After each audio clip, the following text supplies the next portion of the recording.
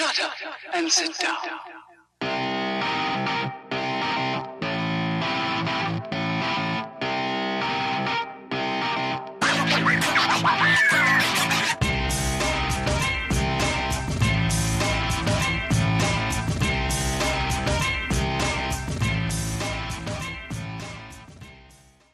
Mr. John Rocha, Yo, how you doing? I'm good. I'm good. I'm.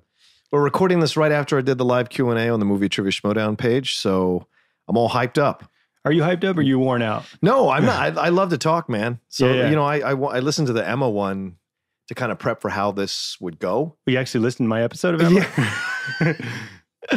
I mean, I love Emma to death. yeah, yeah. And I've never met anyone who can talk as much as I can until I Uh. met Emma Fyffe. Oh, And- yeah. and she can talk, and she's at this high level all the time. Yeah. and so it's like I'm like, well, I'm I go in spurts and doses, but if I get passionate about something, I can always reach that level, no matter how tired or exhausted or worn out I am. But I am, I'm in no way that right now. Really? Are Yeah. you more introverted or extroverted? Oh, come on, What? What? I'm an What? extrovert. But but there's a difference because like there when Oh. like when you have spurts of energy, like you can have that, like you can be on, but Yeah. then w- when you're introverted, you get home and you just like crash. Oh yeah, when I crash and I come home, Uh-huh. I'm chill. Yeah, yeah. Like I won't say a word, and Uh-huh. I'll just be sitting here watching television for like an hour or three hours or whatever, and I just won't say a word. So I value my privacy. I value my alone time a lot okay. because when I'm outdoors or when I'm, I just I am a natural like talker of pe- to people, Mhm. and I like to do that, which is kind of why I get. I think I got into this whole like hosting thing and podcasting thing is I just like talking to people.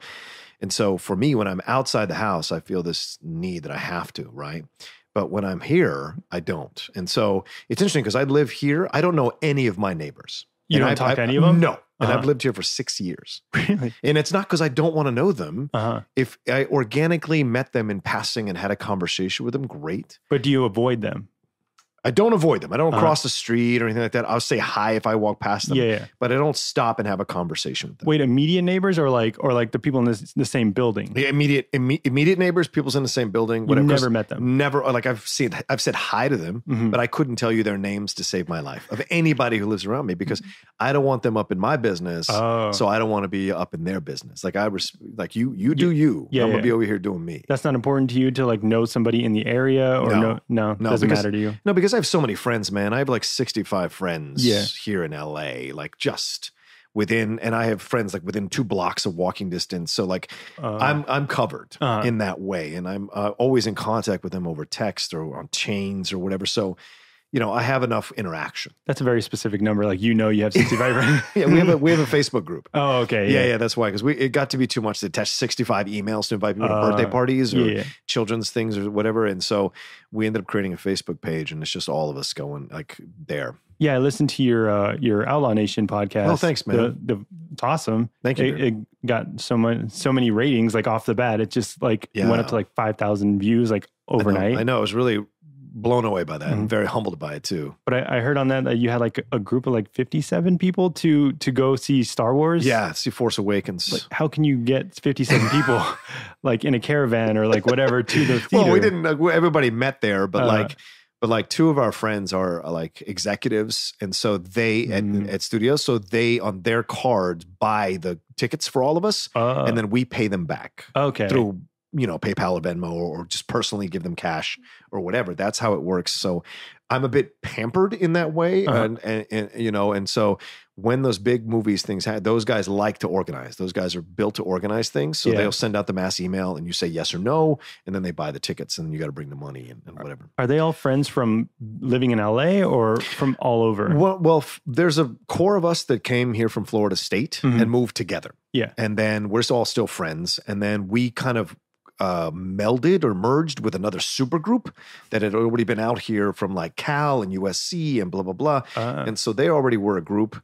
And we just by happenstance, my friend Michael Vogel, who's one of the executive producers on the new My Little Pony movie, Mhm. he was in a play with our actress friend Vicky Kelleher, who does a bunch of commercials and teaches over at Leslie Kahn studio. uh, And then they had their own group of friends. So we kind of picked, and then we've picked people up like they've been assistants to Michael and my other friend Michael Ross at Sony. They've been people's boyfriends, girlfriends, husbands, wives. Ah. So we have a, a, a shit ton. Oh, and we're allowed to cuss, right? Beardo? Yeah, yeah, go ahead. we're- There's a, there's a shit ton of people that we've just kind of uh, collectively organized as we move forward. And some people have stayed in the group. Some people have been unable to handle it because we can be a bit like a community, like we're all up in each other's business. Oh, you're up in their business. Yeah, yeah. Oh, okay, See, yeah. that's why I'm I'm full of being up in people's business. Like I don't need to be able to like I, I don't want them up in my business Yeah. here where I live because I have enough friends who are already up in my business in my life. But do you mind, like, you're on a bunch of talk shows. Do you Mhm. mind if people know about your personal life or, or No. are there things I don't give a shit. you don't give a shit? if, No, like- no, no. I'm me, man. Yeah, yeah. So, uh, other than the outlaw Yeah. character, you're you on everything you've been on. Yes. Like, you, that's you. That's 100% you. Yeah, that's John Rocha. Yeah, Yeah. absolutely. I don't put on a show for anybody. No. And, and and Emma's that way. Some people ask me that. Is, does Emma like that in real life? Yes, Emma Yeah. is like that in real life. Like,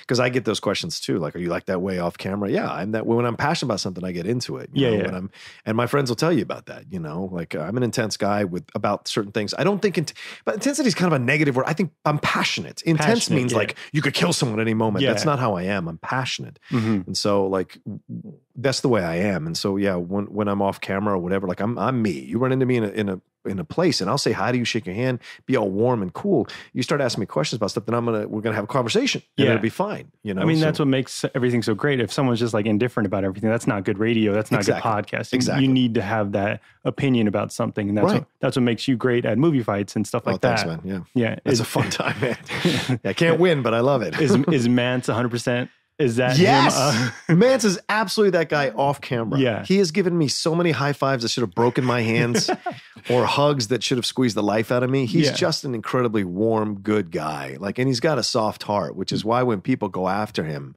in our matches, I get upset, man, because. Scotty's a good, good guy, and he loves to play, and he loves to go back and forth. He loves. He's a, he's an East Coast guy. We're both born in Philly, uh-huh. so we have that kind of like it's inbred in us, you know, like kind of back and forth. So we have a good time. But unfortunately, Scotty has tough time handling those comments on YouTube and on on Twitter and whatever when people go after him because like it just hurts him. Oh, he And- really gets Yeah, he really that? does. Oh, Oh, yeah, he really that. does. Yeah. Oh, and so he he left the she retired from the Schmoedown for a while because after I beat him, he was upset at the comments on the on YouTube that were like people were so happy that that he got beat. Oh, And- like, like get rid of him. Like he's done. Oh, he's oh, too really? loud. He's Oh. annoying. Yeah, Thank yeah. you for beating that annoying fuck. Like it just, Oh, it was crazy the things people said. And I tried to defend him at every moment I could and tell people to stop doing that. But it just got overwhelming for him, right? And the Yeah. same thing happened to me when I left the movie Trivia Schmoedown page after the loss to Riley. Like people just were merciless to and you. to me. Yeah. And that's the thing. They weren't differentiating between me and the character. They were going after me. That's what I, I myself was wondering. I asked Emma, I was like, is that Yeah. John Rocha playing the, that's playing him playing the outlaw, right? That's not him like being a dick. right, right. Too many people think that. Like something thing Yeah. with the, and I had a conversation with Christian about it because I was like, people are accusing me of like physically abusing Emma Yeah. or doing these kind of things, and that's that's gonna that's not something I would ever do. Like my mother raised me better than that. Like I Yeah. would never put my hands on a woman, never have, Yeah, yeah. and never will. And so it's just like that. I would never do that. So when people started saying that, it really bothered me. People started saying like I was a whiny little bitch or choking or whatever. Like it just got to me because I Yeah. was like, you guys don't. None of you fuckers don't know what it's like to be up here under the lights in front of these people doing it and fighting it, and you guys sitting back in your medium level job, medium wage, minimum wage job. You're gonna judge my ass and being you're a fucking uh, a clerk at Best Buy. Kiss my ass, man. I'm trying to do shit and having fun, and I'm Yeah. and I'm fighting my ass off. You want to come after me on a personal level? Go go screw yourself, man. But I think the the it's difficult because you are you're using your real name, Yes. so that's why like uh, that's him. Right, right. But I'm the outlaw when Uh-huh. I'm doing the Schmoedown. But when I'm on like on the movie trivia Schmoedown page, it's John Stephen Rocha that's on there Uh-huh. talking and commenting. It's not the outlaw, right? If I had a separate outlaw account that I would come on and, and do that with, and yes, come at me full Yeah. guns blazing because I'm gonna come after you. yeah, yeah, Yeah, that's, which- that's the character. Exactly, Yeah, yeah. which I've done like Uh-huh. a, a couple of times. People have gone a little too far, and I've gone into their Facebook profile pages and found pictures of them, embarrassing pictures of them, and posted and going, "Really, I'm gonna take shit from this guy who thinks this is the right thing to wear on a on a, on a you know, these like this fashion choice makes sense." Well, you've gone that deep. Oh, yeah. really? Oh, I'm a shit talker, man. Like Yeah. I'm East Coast, son. If you're gonna come at me, you better come in with all your guns. Yeah, it's just that's how it works, you know. That because I, I I heard your story about how you stood up for yourself, like after Mm. like years of just being Oh, down on yeah. yourself. Yeah, I was just getting yeah. beat up and everything. So that's that's you finally like standing up and like Mhm. talking back. Yeah, anybody tries to bully me or disrespect me or push me around, like I will go after them, and it's just how I'm built, and Yeah. it's something I'm working on. Like my faith in God and Jesus Christ, and I've been chanting recently. Like a, my friend of mine's like kind of walking me into the Buddhist practice as well. It's a way of letting go of that, Yeah. like letting go of this need to defend myself or need to be because that's real deep ingrained since I was since I was a teenager, a child, really. And so when I see it, it has caused me problems sometimes in friendships, sometimes in relationships. So it's something I'm working on now. The, And- the defending yourself is yeah, yeah. Where I know like, me or- thinking someone is being disrespectful or disrespect or or doing it on purpose Uh-huh. or bullying me on purpose or trying to intimidate me on purpose.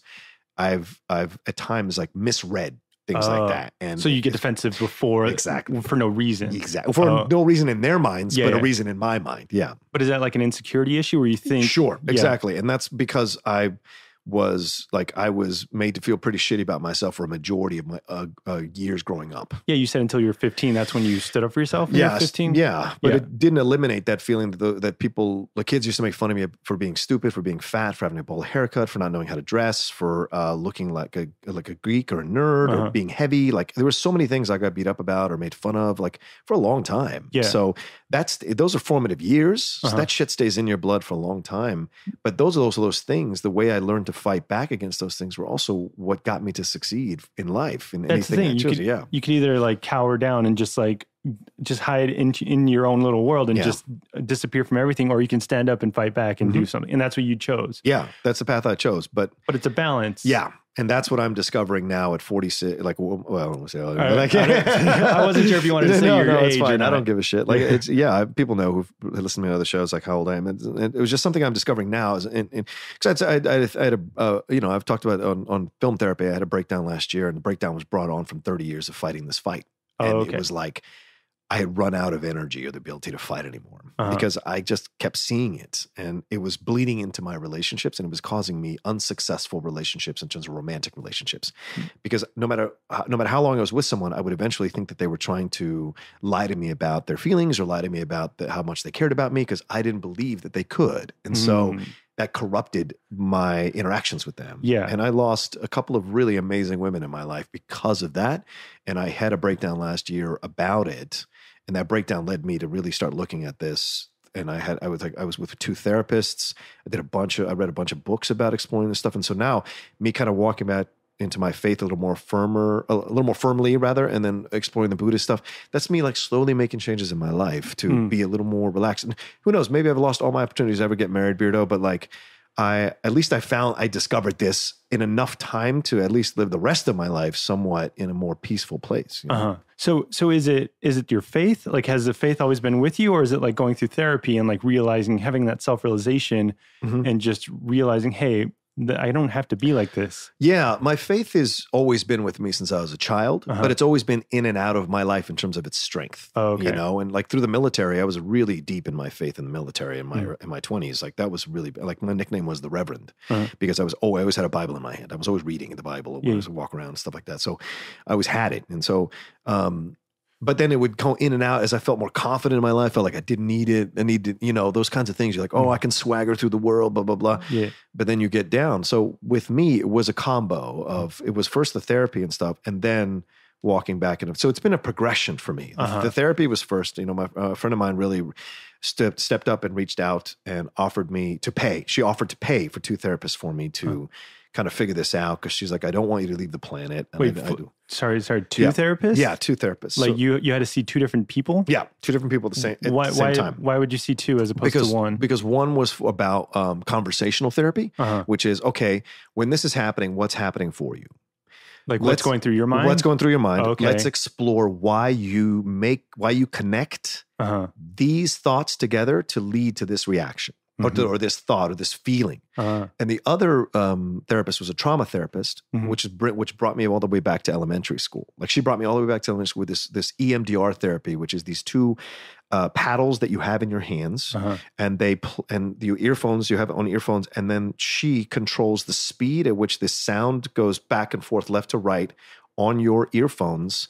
And there's like boop boop boop boop, and and the paddles vibrate Uh-huh. and they're supposed to match and it's supposed to regress you back all the way back to like the trauma moment That that that brings up like your memories? or- yes well she asks questions Oh, okay. So that- she's talking to you. yes while, oh, she's okay. Mm-hmm. talking to you while she's doing it and then she's increasing the pace and then she'll stop like she won't stop the beeping she'll stop she'll go oh no she will stop the beeping and she'll go okay let's focus on that. Uh huh. Talk to me more about that. And then she'll start, and then she'll start the beeping up again, and it went back and forth, back and forth, and boom, boom, boom. And so it brings you all the way back. Oh. And so, and it's supposed to be an eight week process. Yeah. So that's what happened. It, she took, she got me all the way back to elementary school. Uh-huh. it was amazing. Yeah. I, I didn't know I still had those memories inside me. I mean, it's always going to be like in your subconscious. Yeah. that- yeah. Yeah. right. And the prof- that's why they're professionals because Uh-huh. they can get, so they, she got me there to that moment. It was fucking amazing, man. how And long ago was that? It was, uh, February. Like we started in December, This And this past this past okay, December yeah, of yeah. 2016, and we stopped in March. Oh, so both both therapists. okay, so Mhm. it took you like forty some odd years to get to that point to realize, hey, there's something going on deep inside me that I'm right. Yeah. Well, because it's really difficult to separate the reasons for why you succeed Mhm. versus the reasons why they also may be why you fail at times. And Oh. so when the reasons that you succeed also cross over to the reasons you fail sometimes, you have to extricate extricate those pieces away from the overall uh uh your overall self. Uh-huh. Like wh- who are you really? Like what part of you is learned and what part of you is uh, uh, uh, organic. Uh-huh. And so that's those are those kinds of things that I was discovering, and bec- and I moved fast through it, Mhm. you know, because I was like, I wanted to learn. Yeah, because you're a super comp- competitive guy, and and no fault of your own. That's right, that's right. but that so that I've never ever thought of it that way. That's brilliant. what that you just wanted to complete the eight Yeah, eight week course in like seven weeks just to say Yeah, you did. just to say I did it. but, but I feel like if you set your How mi- long did Riley take to do this? I want to beat his record. no, no, just kidding. But I feel like Yeah. if you set your mind to something, then you accomplish it. Yeah. So so now that you understand like yourself, Mm-hmm. you you understand that you can be better at yourself. Yes. Mhm. Yeah. So and- is there other steps to take? Like Oh yeah, I meditate a lot, Uh-huh. um, which is great, really powerful for me. And also, well, the chanting has been a new thing that I've really enjoyed too. And I'm I'm going to get my Gohonzon, and I'm going to get my uh, and start putting that. I'm going to put that here. We're, we're in my place recording right now, but like where I'm pointing to my wall here, where the Mhm. guitar is, I'm going to put the Gohonzon and hang it up there, and I'll be chanting. Wait, and people come over and chanting. and what is that? Kahansa? It's. It's it's a what is it? It's a scroll. The scroll, I Uh-huh. think, is the scroll is that what you put in there, uh, and that's what you you chant to uh, and there's a box you buy to put the scroll in so you can hang it because it has to be above you like Uh-huh. has to be so you you're looking up to chant and then you chant like you know however and you do the prayers morning and evening prayers and do the chanting and so i'm exploring it to see Uh-huh. what's going to happen for that you know and that so centers you in the yeah okay. really does i've already been to a few chanting sessions and it really really does center you You would think that like working out or something would help like release that anger or that fight in you. well working does working out does help but Uh-huh. i've kind of I used to like be hardcore into CrossFit. I don't go as much as I used to anymore, and Mm-hmm. I, so I'm searching for something that's Uh, a little more like um, long lasting oh, okay, and a little more uh, foundational. yeah. Working out is great, but if I don't, if I stop working out, then or if I Uh, get lazy, then but but It's me, still there. right? Exactly. yeah, but yeah. me sitting up, literally getting waking up, rolling over, jumping on the other side of the couch, and starting to chant and do the prayers. It takes almost no effort. Yeah. Right. So to me, it's a, it's something that's a little more. A little more uh, has a stronger foundation than just working out. That's You true. know, if Yeah, I get yeah. injured, what the fuck am I going to do then? Yeah, yeah. You know, and it's more the working on the mind Yes. as opposed to just the physical aspect. right. Yeah, yeah. Right. So, so I want to go back to your uh, your your uh, elementary school days yes. because I can I can't picture you like chubby fat kid, Oh like God. like bowl haircut. Yeah, man. you were just- I could I could pull out some pictures if you want to look at them, Beardo. No Yeah, lie. Yeah, yeah. I have them right there. Yeah. Oh wow. Um, but is is home? You said you were born in Virginia, but you were no, I was born in Philly, Uh huh. raised in Virginia. Okay. Yeah, yeah, yeah. Why did why did your parents move? Um, well, my dad had an opportunity with a job, Uh-huh. and my mom had more of a, a ability to transfer because she was a nurse at the Oh. time. So then we moved to Virginia about a year in, and- and a, a bunch of my father's brothers, my uncles, Uh-huh. were there already, so they had like a soft place to land. Oh, okay. And so yeah, so they they figured they moved down there. My dad wanted to be closer to his family and stuff. So So you were surrounded by family in Virginia. I was, yeah, Okay. yeah, Bolivian family. My my from both sides, my mom, my dad, and Mhm. and so they and then my mom helped her aunts come over and her uncle come over from Bolivia as well, like because she came here when she was eighteen. Uh huh. So she had established herself and got a green card, did the whole process. My dad too, and so it was a whole thing. And so I was constantly surrounded by Latino family members. Yeah. How how old were your parents when they had you? my mom was twenty five. My mom, my dad Uh-huh. was thirty five. Okay, so like kind of average normal Yeah, around sure, that time? It wasn't sure. like too young No, no, no. or like too old. Not too old. Yeah, yeah. Not like me, too old. 46, having a child now. Yeah. I mean, it's it's fine. no judgment. No judgment. no, okay, Yeah. because I'm I'm just wondering when you were when you were being bullied in in, Yeah. in uh, elementary school. Yeah. Did you like go to your family or did you have anyone else like yeah, to, to stick of up course. for you? No, no one stuck up for me. My dad never wanted to teach me to fight because my dad had experienced a lot of terrible times growing up in uh, Bolivia and Argentina, where he was constantly using his fists. You know, uh, are you you're Latino, right? Yeah, So you understand, like, the machismo. yeah, the machismo, all that shit is like, and it's from the old country, so you know that's deep in there, and Uh-huh. that's just a standard way of life Yeah, back then. You know, and so. My dad never wanted me to learn to fight because he never wanted me to suffer the way he suffered. but even know? even when he sees you like come home like beat up, he's Yeah. not, he doesn't say like, "Hey, stick up for yourself, no, do something." Well, he No. didn't say stick up for yourself. He'd be like, just be stronger than them. Yeah, Be yeah. stronger than them because you, you know, you can. And, and uh, to be fair, I was a fat. That didn't look like I was athletic at all. So Uh-huh. I'm sure my dad thought, well, I can't train this guy to fight. You know, So look at him. a lost cause. Yeah, maybe. I mean, I'm, I'm not faulting him. You know, I just didn't. I probably he probably thought I, I wouldn't learn. And to be honest with you, I probably didn't. I'd have the ability to learn until that moment happened, which I talked about on, on the Outlaw Nation podcast. So, like, to me, yeah, that, that it was constantly coming home, constantly crying, constantly getting beat up, constantly like it just was a terrible experience, man, Mhm. for years, man, fucking years, dude. Really? So yeah, I can't imagine do that. And then like like because I, I grew up in the suburbs where everyone like loved Yeah. each other, like no no harm, nothing. Yeah, And then I can't imagine like teachers like not intervening or parents or anything. Like it was just like the streets Yeah. out there. Well, I mean, like in where I grew up in Falls Church, like Culmore area, St. Anthony's, like it was a Catholic school. Oh, it's Catholic. Right. The Oh. first the first nine years was Catholic, right? I went from until I was in third grade. So Mhm. the first nine years of my life I lived around basically a Latino area. Mm. And then I went to St. Anthony's uh, public school. And there were white families there too, but like it was a lot of Latino families, you Mhm. know. And so there was a I got I could it was my, my you know I was like well I wouldn't tell my dad sometimes either like I Oh. wouldn't tell my mom sometimes Mhm. because I was embarrassed Yeah. you know I would just take the beatings Mm. you know and so and my dad was always caught up with this whole idea of trying to toughen me up you got to be a man you got to be a man you know stand up for yourself stand up for yourself so for his idea of standing up for myself though was not fighting it was to just kind of you know be stronger than them like or be the better person. be the better Ye- person, right? Yeah, That kind of stuff, which my dad had no concept of how to teach me, you know, Uh-huh. because it was really hard for him, and because my dad was working all the time too, and he Mhm. didn't have the greatest upbringing. Like his his stepfather was an abusive alcoholic, so Uh-huh. he didn't teach him any parenting skills. And his origin, his uh, biological father died when he was ten years old, and that Wow. really he loved his dad, and that really affected him. So Uh-huh.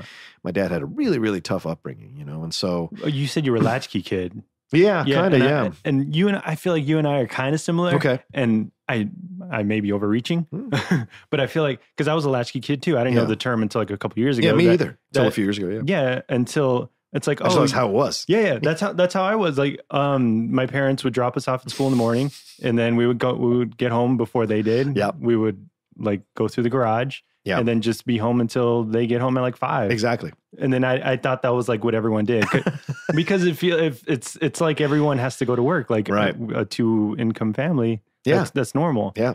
If So- it's what you know, Yeah. how can you think there's any other way to exist? Yeah. Yeah. So that so then was it just you and your brother or you and your Well, si- well, it was me and my brother and my sister for a while. Yeah, Uh-huh. yeah. I mean, like obviously, uh, just like I said, seven years young. So like during elementary school, obviously she wasn't there. But Yeah. like uh, when I got into middle school, she was a baby. So, so my mom ended up leaving, uh, being a nurse, Mm. and she uh, became like a full time mom during that time while my sister was doing that, Mhm. and then went back to work as a hairdresser. Mm. And so at that time, it was me being the primary taking care of my brother and my sister while yeah. my mom So you had away. to be you had to be the adult. Yeah, yeah, yeah. Which was really hard for me. I, I I was not prepared to be an older brother because I had a lot of my other stuff that I was working through. So it was as a kid, and so Mm. it was really hard to kind of be like I. I wish I could have been the quintessential older brother. You know, Yeah. I tried. Uh-huh. I really tried hard, and but I made mistakes at times. And there's what else can I say? I made mistakes, and I mean, you don't know. you don't know. yeah, you yeah. really don't fucking know, man. And so I, I felt a lot of guilt to that for that for a long time, and I processed a lot of that in the mid two thousands. You know, Do you ever wonder like why are they picking on me? Like no, it seemed obvious. They would tell me. Oh, they would- yeah, they yeah. would say, like, you're oh. fat, you're ugly, you're stupid, you're uh, what you wear to school, you look dumpy, like all. really? Yeah. Oh, they would just like blatantly say like, Oh, "Oh, I'm yeah. picking on you because you're different." well, they wouldn't. I mean, they wouldn't be that eloquent. Yeah, yeah, I know. But, yeah, but sure, they would be like, you know, Um, and they used my name, which uh, they used to rhyme my name with other things. My original name before I changed it, they used to rhyme it with other things that symbolize fat. And Uh, so that's how they would. And they would. I remember distinctly one afternoon they just circled around me during Uh-huh. a recess and just were like uh, during recess of like holy Catholic shit. school recess and yeah, just yeah. were just making fun of me the whole time. there was no other kids that they were making fun of. Were you like a group of like? I, I'm sure there were other kids, but Uh-huh. uh, for me, it was always singular. Oh, okay. Yeah, it wasn't like I gravitated to other nerdy kids who got beat up all the time too. You know, Yeah, yeah. there wasn't that kind of thing. You know, Uh-huh. everyone like that's something in the fucking movies, or maybe it happens in real life, but I didn't experience it. We all are kind of alone on an island. Yeah, you yeah. know, afraid to get caught out and get beat up. You know? Oh yeah, in the movies where it's like all the nerdy kids are together and they Yeah. like team up. There was no like- stand by me moment in my life. Yeah. So, but but did you ha- you had a couple of friends in like elementary school and middle school? Yeah, yeah. Sure, I'm sure I did. In in in elementary school, sure. I don't remember any of them, but I'm sure I did. And in and in uh, um, middle school, I definitely developed some friendships. But in high school is where the, the my friendships, my ability to develop friends, really started to come to the front. That's when you stood up for yourself, and and that's Yeah. when you got more confident, and worked out, and be, uh, got into acting. Yes. Yeah. Yeah. Yeah. I got into acting. Um, I had I had thought about doing it in middle school, but I did track instead Uh-huh. because that was my way of trying to. I was. I Oh, was. so you're you're trying to work out. Or I was trying to, right, but I was, I was still fat, but Uh-huh. like I was strong, so I could throw like the discus Oh, okay. or the shot put. Uh-huh. That's what they put me in, right? Uh-huh. And so just to do something, Did right? you try football? no, oh god, no. I didn't try football. Uh, Be like a lineman if you were Mhm. just like a big lineman. no, because at the time I didn't. Under, I didn't develop a taste for football till much later. Like, Oh, okay. yeah, yeah, much later, which we, we might get to. But like I, in high school is when I started to um, really kind of like, like I said, after the, the after I said on the Outlaw Nation podcast, like after my freshman year, that summer after I got my ass kicked that one last time, uh, freshman year, my like I just uh, then that that that the summer between freshman and sophomore year, I worked out so hard and got into that position so that when I came back, I was I, I just was more confident. Like Uh. you know, you these things happen, you transition, right? You all of a sudden you're like, oh, this can happen to my body. So Yeah. I think because my dad had good genetics, he passed it on to me because my dad was a weightlifter in Argentina. Uh, So like he already had the genetics. I just had to shear the fat off Mhm. and and figure out how to do that. And like you said, once I set my mind to something, I accomplish it. You know, Uh-huh. I really do. Whether it's the varying degrees of accomplishment, I still accomplish it. you yeah, know? yeah. And so um, for me, it was that, and it was working out and doing all that. So when I came back, I was like a whole other person. Like I was more relaxed. I got my hair cut. Mhm. I didn't. My mom didn't dress me anymore. See, my mom dressed me in the, my whole freshman, like all the way up to when I was a freshman. Yeah, yeah. My mom dressed like picked out clothes for every morning. But did you did you try to say, "Hey, mom, let me let me choose my own stuff"? Sure, but then it was like you know, well, no, I know what's best for you, and Oh, blah, blah, blah. so I, like I said, bullied all around, Uh-huh. and wasn't oh, and- even and- bullied. Well, not, yeah, but not bullied in that way. of Like Yeah, she was being mean about it. They just Uh-huh. like, well, we tell you what to wear, we tell you what to eat, like that kind of thing. They weren't mean parents. Uh, They just thought they knew better, right? Yeah. And so, and I didn't have the strength within myself to fight back. did they did they speak English and Spanish? Yeah, yeah, yeah. both. Okay. Yeah, Could, yeah. could you mention that they didn't want you learning a lick of Eng- or a lick of Spanish? No, no, they wanted to learn me Spanish. They didn't want me learning English with a Spanish accent. Oh, I- Yeah, yeah, yeah, Oh, yeah. because um, my my parents my parents' parents didn't want them learning Spanish at all. Wow. Yeah, because Wow. they said "Hey, you're going to learn English, you're going to fit in, you're going to be quote unquote whitewashed, Right. Just to just so kids don't pick on you. Yeah. See, it's a big thing, man. Uh-huh. Yeah, we understood. Like growing up with this, people, you know, people don't understand like how deep this shit goes with us who are of ethnic uh, origin. Like it's deep, Uh-huh. you know, and we're, we're we're raised a certain way. Nowadays, no, it's not that way. Nowadays, like you better speak Spanish first. You know, Yeah. it's, it's now, that kind now of it would have been so helpful for them to learn Spanish. Exactly. It's a different generation now. Nowadays, they like you better learn Spanish first, and all, they push all that stuff. And, and you know, my my mom and dad were always like wanting me to speak English without an accent, but still learn Spanish. Oh, okay. Yeah, yeah, it was a big deal to them. Did you? So, but uh, you grew up like around Latinos. Yes. So, did they ever say like, "Oh, you're not really Mexican" or "You're not really Latino"? uh, did other Latinos say that? Yeah, yeah. Mm, Why? Because because I would get it. They're like, "Oh, you're so whitewashed that you're like you're Oh. you're not Mexican at all." I'm Oh. like, oh, I don't really care. Right, right. Yeah. No, I don't. I uh, that only happened later. That can only I can only recall that happening later in my life. Yeah, because. I'm not as brown as other Latinos, so I don't reckon. I don't feel like that happened to me till later in life. Oh, okay. Yeah, yeah. yeah. Because my girlfriend thought you were Native American. You ever gotten that? Oh, really? Yeah. well, yeah. People think that guy from uh, Hell or High Water. They think I look like him. Oh, yeah, I forget his name. Yeah, yeah. but Gil, uh, Gil something. Gil Birmingham. Yeah. uh, They think Schmo, I look Schmo like- down. But uh, yeah. so so then you found your solace in movies and television. Oh, those, yeah, those man. are your friends. That was my escape, man. Yeah, yeah. Always. Yeah. Since That- I was a kid. so did did you know like that you wanted to be in them? or did you just like Yeah, from an early age, I was a bit of a performer from an early age. Like I, I remember uh, one of the first memories I have is that I had this Elvis Presley record. Uh, oh, the Dick Clark record. There was just, just there's two. My, my parents had these records, right? Kids records are things they played back in the old days. 45s Yeah, vinyls? Yeah, those kinds of things, vinyls, exactly. but we had this two two vinyl uh, Dick Clark record and then this Elvis Presley record called "Come On Everybody." And so I would perform for my aunts and uncles Mhm. at reunion, like reunions, what they call reunions, right? They all Yeah. get together reunions. I would put on the record Mhm. and then I would perform as Elvis. Or like I, like sing? or- yeah, like sing Oh, and wow. move Uh-huh. like Elvis because I'd w- uh, watched Elvis growing up, you know, as a kid and uh, on TV, and so I would do the imitations. Mhm. So I knew even as a young kid, like I wanted to do some sort of performance. you right? wanted to perform. yeah. I, So th- was so then you- deep in me. So then you uh, auditioned for the school play. Oh yeah, in high school, yeah, uh, yeah. There's, there's Pirates of Penzance. It's available. Come on, I signed up. I got a time, and then throughout the rest of the day, I was like, I don't know if I should. Maybe I shouldn't. You know, maybe I suck at it, or do I really have the time? Blah blah blah. Um, and then as I was sitting at the locker room, I was just uh, in the uh, in front of my locker. I was just going back and forth about it, going back. And then my friend Robert Doyle at the time came up. And he was just like, "Do you want to do this, to Rocha?" And I was like, "I can't. I don't know, man. I, maybe I should just." He's like, "No, no, come on. We'll do it. We'll have fun. We'll do it. We'll see what happens." I'm auditioning too. I'm like, "Oh, okay, all right." So I got someone there. I'll go. Yeah. You know, and this is the year where, like, you know, I became friends with a lot of people. I was dating all the time. Uh-huh. Oh yeah, it was yeah, it was good times. And so, yeah, it was my. So I felt I felt okay. Let's go do this. Yeah. And then I got cast in it. and He didn't Uh, which was my first experience of like professional envy, so to speak. You know, because it, your friend? yeah, because he kind of it really bothered him that he didn't get it and I did. Oh, And really? he had talked me into it. Yeah, but I mean, it, I guess like at that time that that's your life, but it's just a school play. yeah. Well, Yeah, yeah. now you can say just a school play, but at Yeah, the time, it's like a big deal. But do you feel the same way when someone like uh, gets a better position than you? Like, are you envious of them when they when they get a better part or something? No, I'm not envious if I if I think they're good at it. Okay. right. I'm envious if I th- or I or I want to find out. Like every actor wants to feel like, well, why did they get it over me? Right. Mhm. You want the explanation. But you can still be happy for them. Yes, of course. Okay. Absolutely. Yeah, yeah. Yes. Yes. Yes. You're not like fuck that guy. That should be me. No, no, no. I'm not like that. Uh, I have a friend who's an actor. Um, I don't want to say his name because I want this is his process, but like he he when he loses a part, Mhm.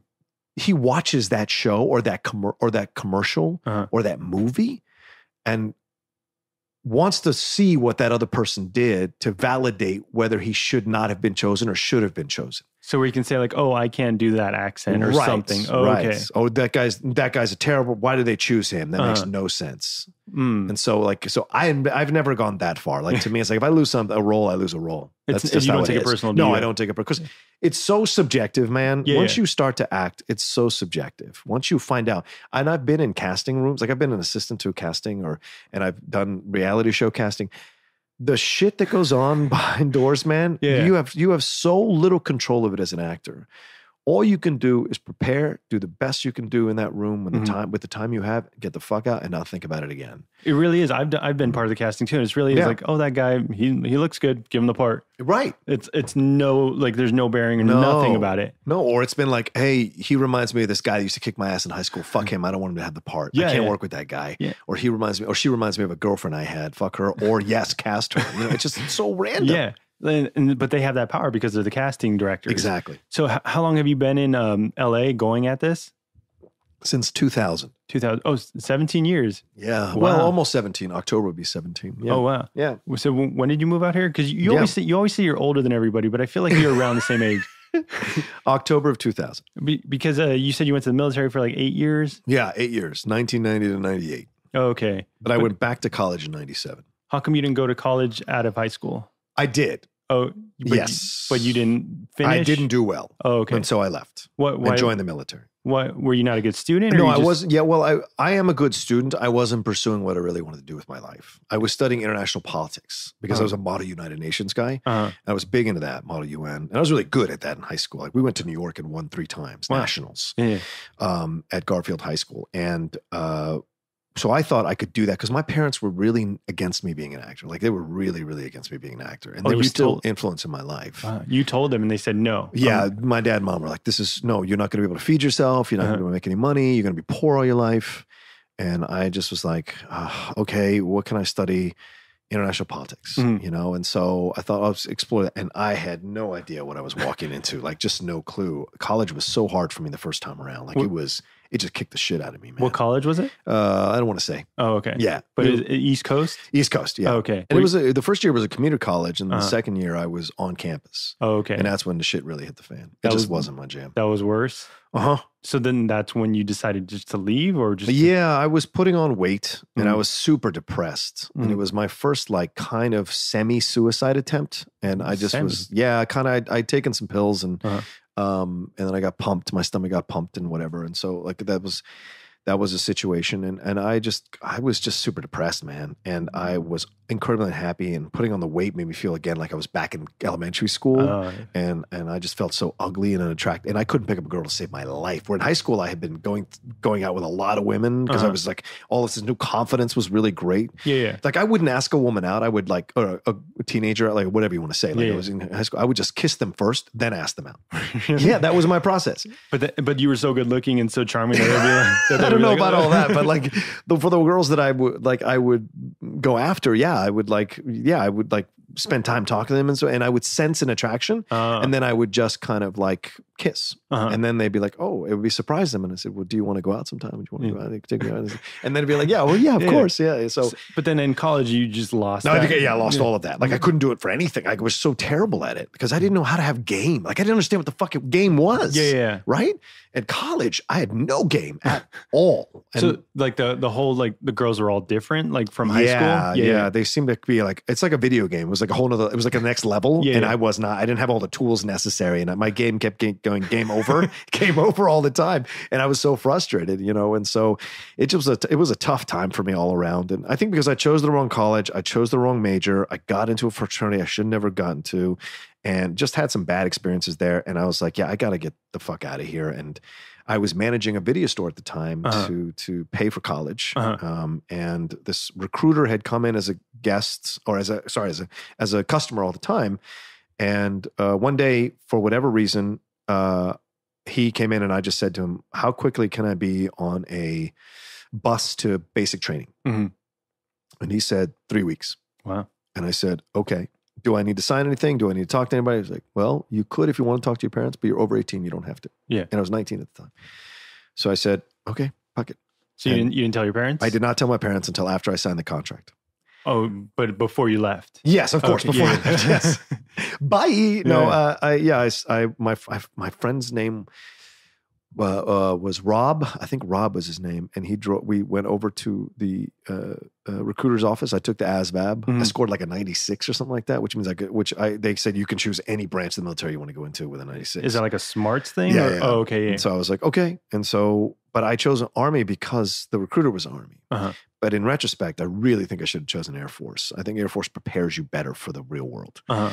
Um, and so I just uh, I went in there, and so and I signed the contract, eight years reserves. Yeah, yeah. I never went full time active, and so um, then I went home and and and uh, told my parents. so what is reserves? I mean, you never went overseas? Yeah, I never went overseas. Oh, okay, so you're Yeah, just yeah. always in the states. Yes, but Yes. you can be like on call like anytime. Yes, is that what yes. that means? Well, Oh. like the first, you do your basic training, which is two month, two months. Uh-huh. Then you do AIT training, which is three months, Mhm. and then after that, you have to do one weekend a month, Uh-huh. and then two weeks out of the year in summer. Uh, So you're at a base. So every, ev there's one weekend every month you have to go and serve your two days on the base, right, and do Uh-huh. your things and be trained and work on all those kinds of things and do Hmm. military exercises. And then, of course, when you go for the two weeks, you're going out and bivouacking. what We call it bivouacking, which is where you go, you set the tents up. You do all that kind of stuff. You're out there in the military. You're doing. You're taking shits in holes. You're, you're doing. Nice. You're eating MREs. You're pretending like you're out on an actual exercise, military exercise. Yeah. uh, so did did that help you? Did it like help build your confidence back? Sure. Oh, the military Yeah. did absolutely. So that, oh, that's yeah. exactly what you needed. Yes, Uh-huh. yes. I don't regret it for a second. Like it was a very tough conversation. My mom cried the whole time when I Uh-huh. told her. My dad was super upset, Yeah. and he was just like, "Yeah, I don't know how you think you're going to survive in the military. You can't even take discipline from me because that because." The combination of me becoming more confident in high school Uh-huh.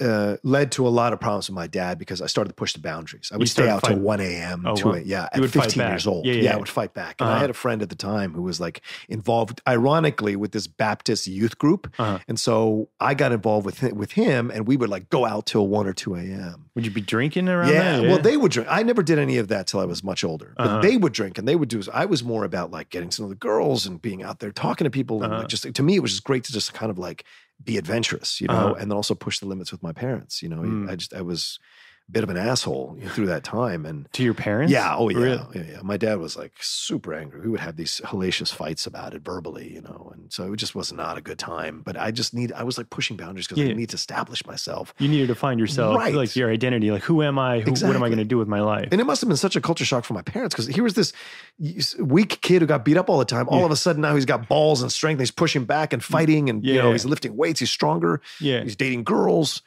Like I, my first girlfriend was a 19 year old woman with a child, Well, wait, how old are you? 15. but I lied to her Oh, because what- I because I because of how strong I was and how I looked. Oh, yeah. yeah. I told her I was 18 years old. uh-huh. And I was working in, it was my first job at uh, in Dale City called the Job Lot Push Cart, Uh-huh. which is a defuncto company or store now. But like I was in the back stacking shelves, like Yeah, I was stacking stuff on shelves and stuff. So I would work there um, and then go to school. So, where'd you meet her?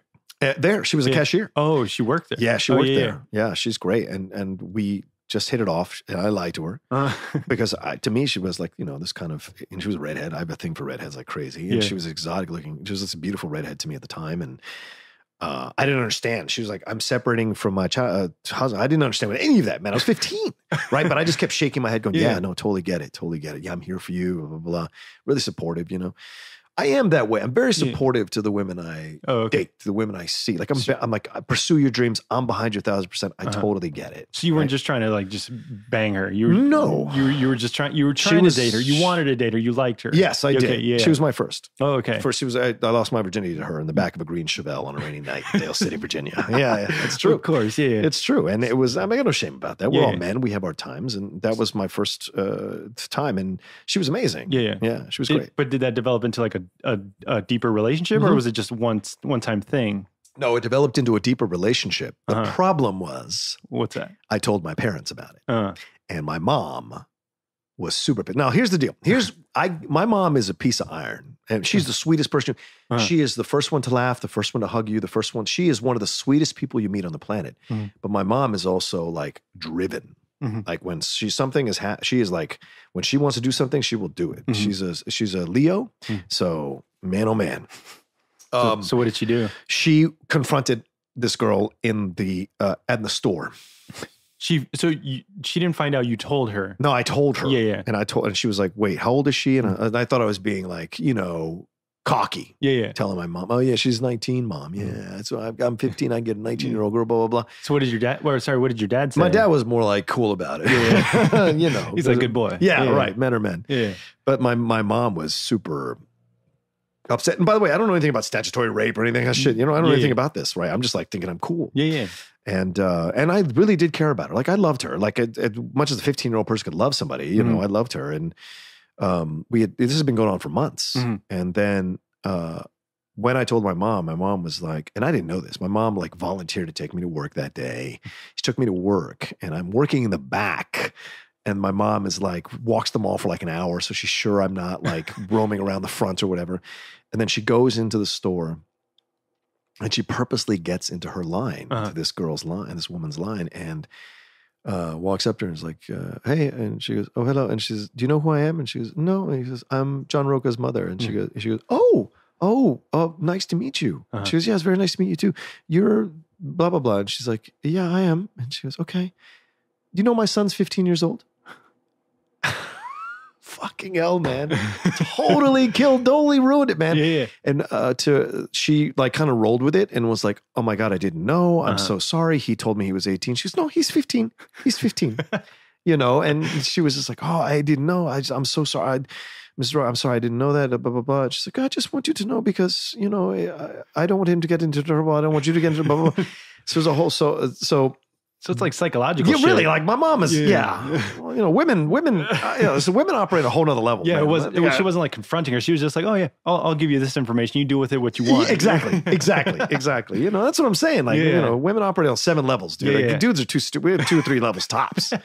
You know, even Neil deGrasse Tyson probably also had what two or three levels. yeah, yeah. But like, um, so then that night she my that girl took me uh, home purposefully. Yeah. Like she's like, "I'll drive you home." Your mo- I, m- uh, I, was, I told my mom, I called my mom. I said, "Mom, uh, this girl's gonna drive me home." She's like, "Okay, okay." But you had no idea that they No, talked. no yeah, yeah. clue. Yeah, yeah. So she's driving me home, and then she says, like, she drives, she pulls over somewhere, and she says, "Hey, your mom came into the store," and I, my fucking heart dropped into my stomach, and she goes, and she was like getting money from the bank at the time, and she goes, um, "Why didn't you tell me you were 15?" And I was like, and I just started crying, like, I just Yeah. impulsively started crying because I cared about it. I didn't want to Yeah, lose her. And she just was like, "Yeah, I didn't know. You know, your mom told me that, but, but you know, I could get in trouble. You know, statutory rape is. I could go Uh-huh. to jail. Blah blah blah." Yeah. And I was like, I'm sorry, I didn't know. I didn't know. I'm sorry. No, I just care about you. I didn't want to lose you. And I really cared about you. And I thought you would leave me if you didn't know how old I was and blah, blah, blah. And she's like, Well, if you put me in a really bad position because I do care about you and I don't want to hurt you and I don't want us to stop, but I don't, but I don't know what to do. Uh-huh. So we tried to keep going for like a, a few, a couple of weeks, two or three weeks afterward, but she, it just was too much. That's too weird for her. yeah, like, it was too weird for her. Yeah, he's, he's- 15, he's a sophomore. with a child, divorcing, Yeah. you know, all of that. to her credit, and this Uh-huh. is no bullshit, um, she became one of the top people at the Department of Homeland Security. wow. So I respect her very much, and she, we we had some kind of contact a few years ago, but then we kind of fell off in contact. She's I don't know what she's doing now, but Mhm. we had come and we randomly ran into each other at a Sears optical place. Uh, a few years ago when I was home for Christmas, and, Uh-huh. and she, I recognized her immediately, and Wow. she didn't recognize me for a little bit, and then she sent a message back while I was in the uh, optometrist's chair Uh-huh. through the nurse to be like, "Tell John to wait. I did recognize him." Blah blah blah. And so we had we had dinner and we had a great conversation, just reliving all of that that happened and laughing about it. Yeah, And- you can laugh about it now. Now, It's, right. It's And- pretty ridiculous. yeah, and, and massive respect to her to like go from a cashier living in a trailer park, divorcing with one child, wow. to where she really got really uh, buckled down and worked hard and got multiple degrees and became one of the top people at the Department of Homeland Security. Wow. Yeah. Do you think it was that moment where she realized she was dating a 15 year old, where she had to change her life drastically? maybe who can say? she never said that to me. but I mean, the fact that she still wanted to like see me when we ran into each other was Yeah, a yeah. great. That was great. We Uh-huh. had a fucking awesome dinner down in uh, Alexandria and had a really great time getting to know each other. And, and again, you Yeah, know, and she was very happy like I was pursuing acting because she Uh-huh. knew that was something that's really deep in me back then too. so she was supportive of you back then. Very, very supportive. Yeah, Yeah, yeah, And so, you know, so that kind of stuff. So it's, it's just funny little things that Mm. happen to you. Yeah, you know? yeah. So yeah.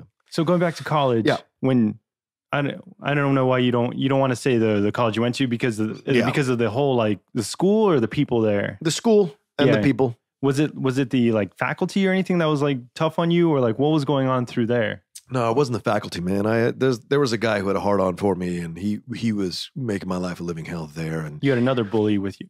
I left, Uh-huh. and when I left, my mom, my mom, Yeah. once again, my mom confronted that guy. Yeah.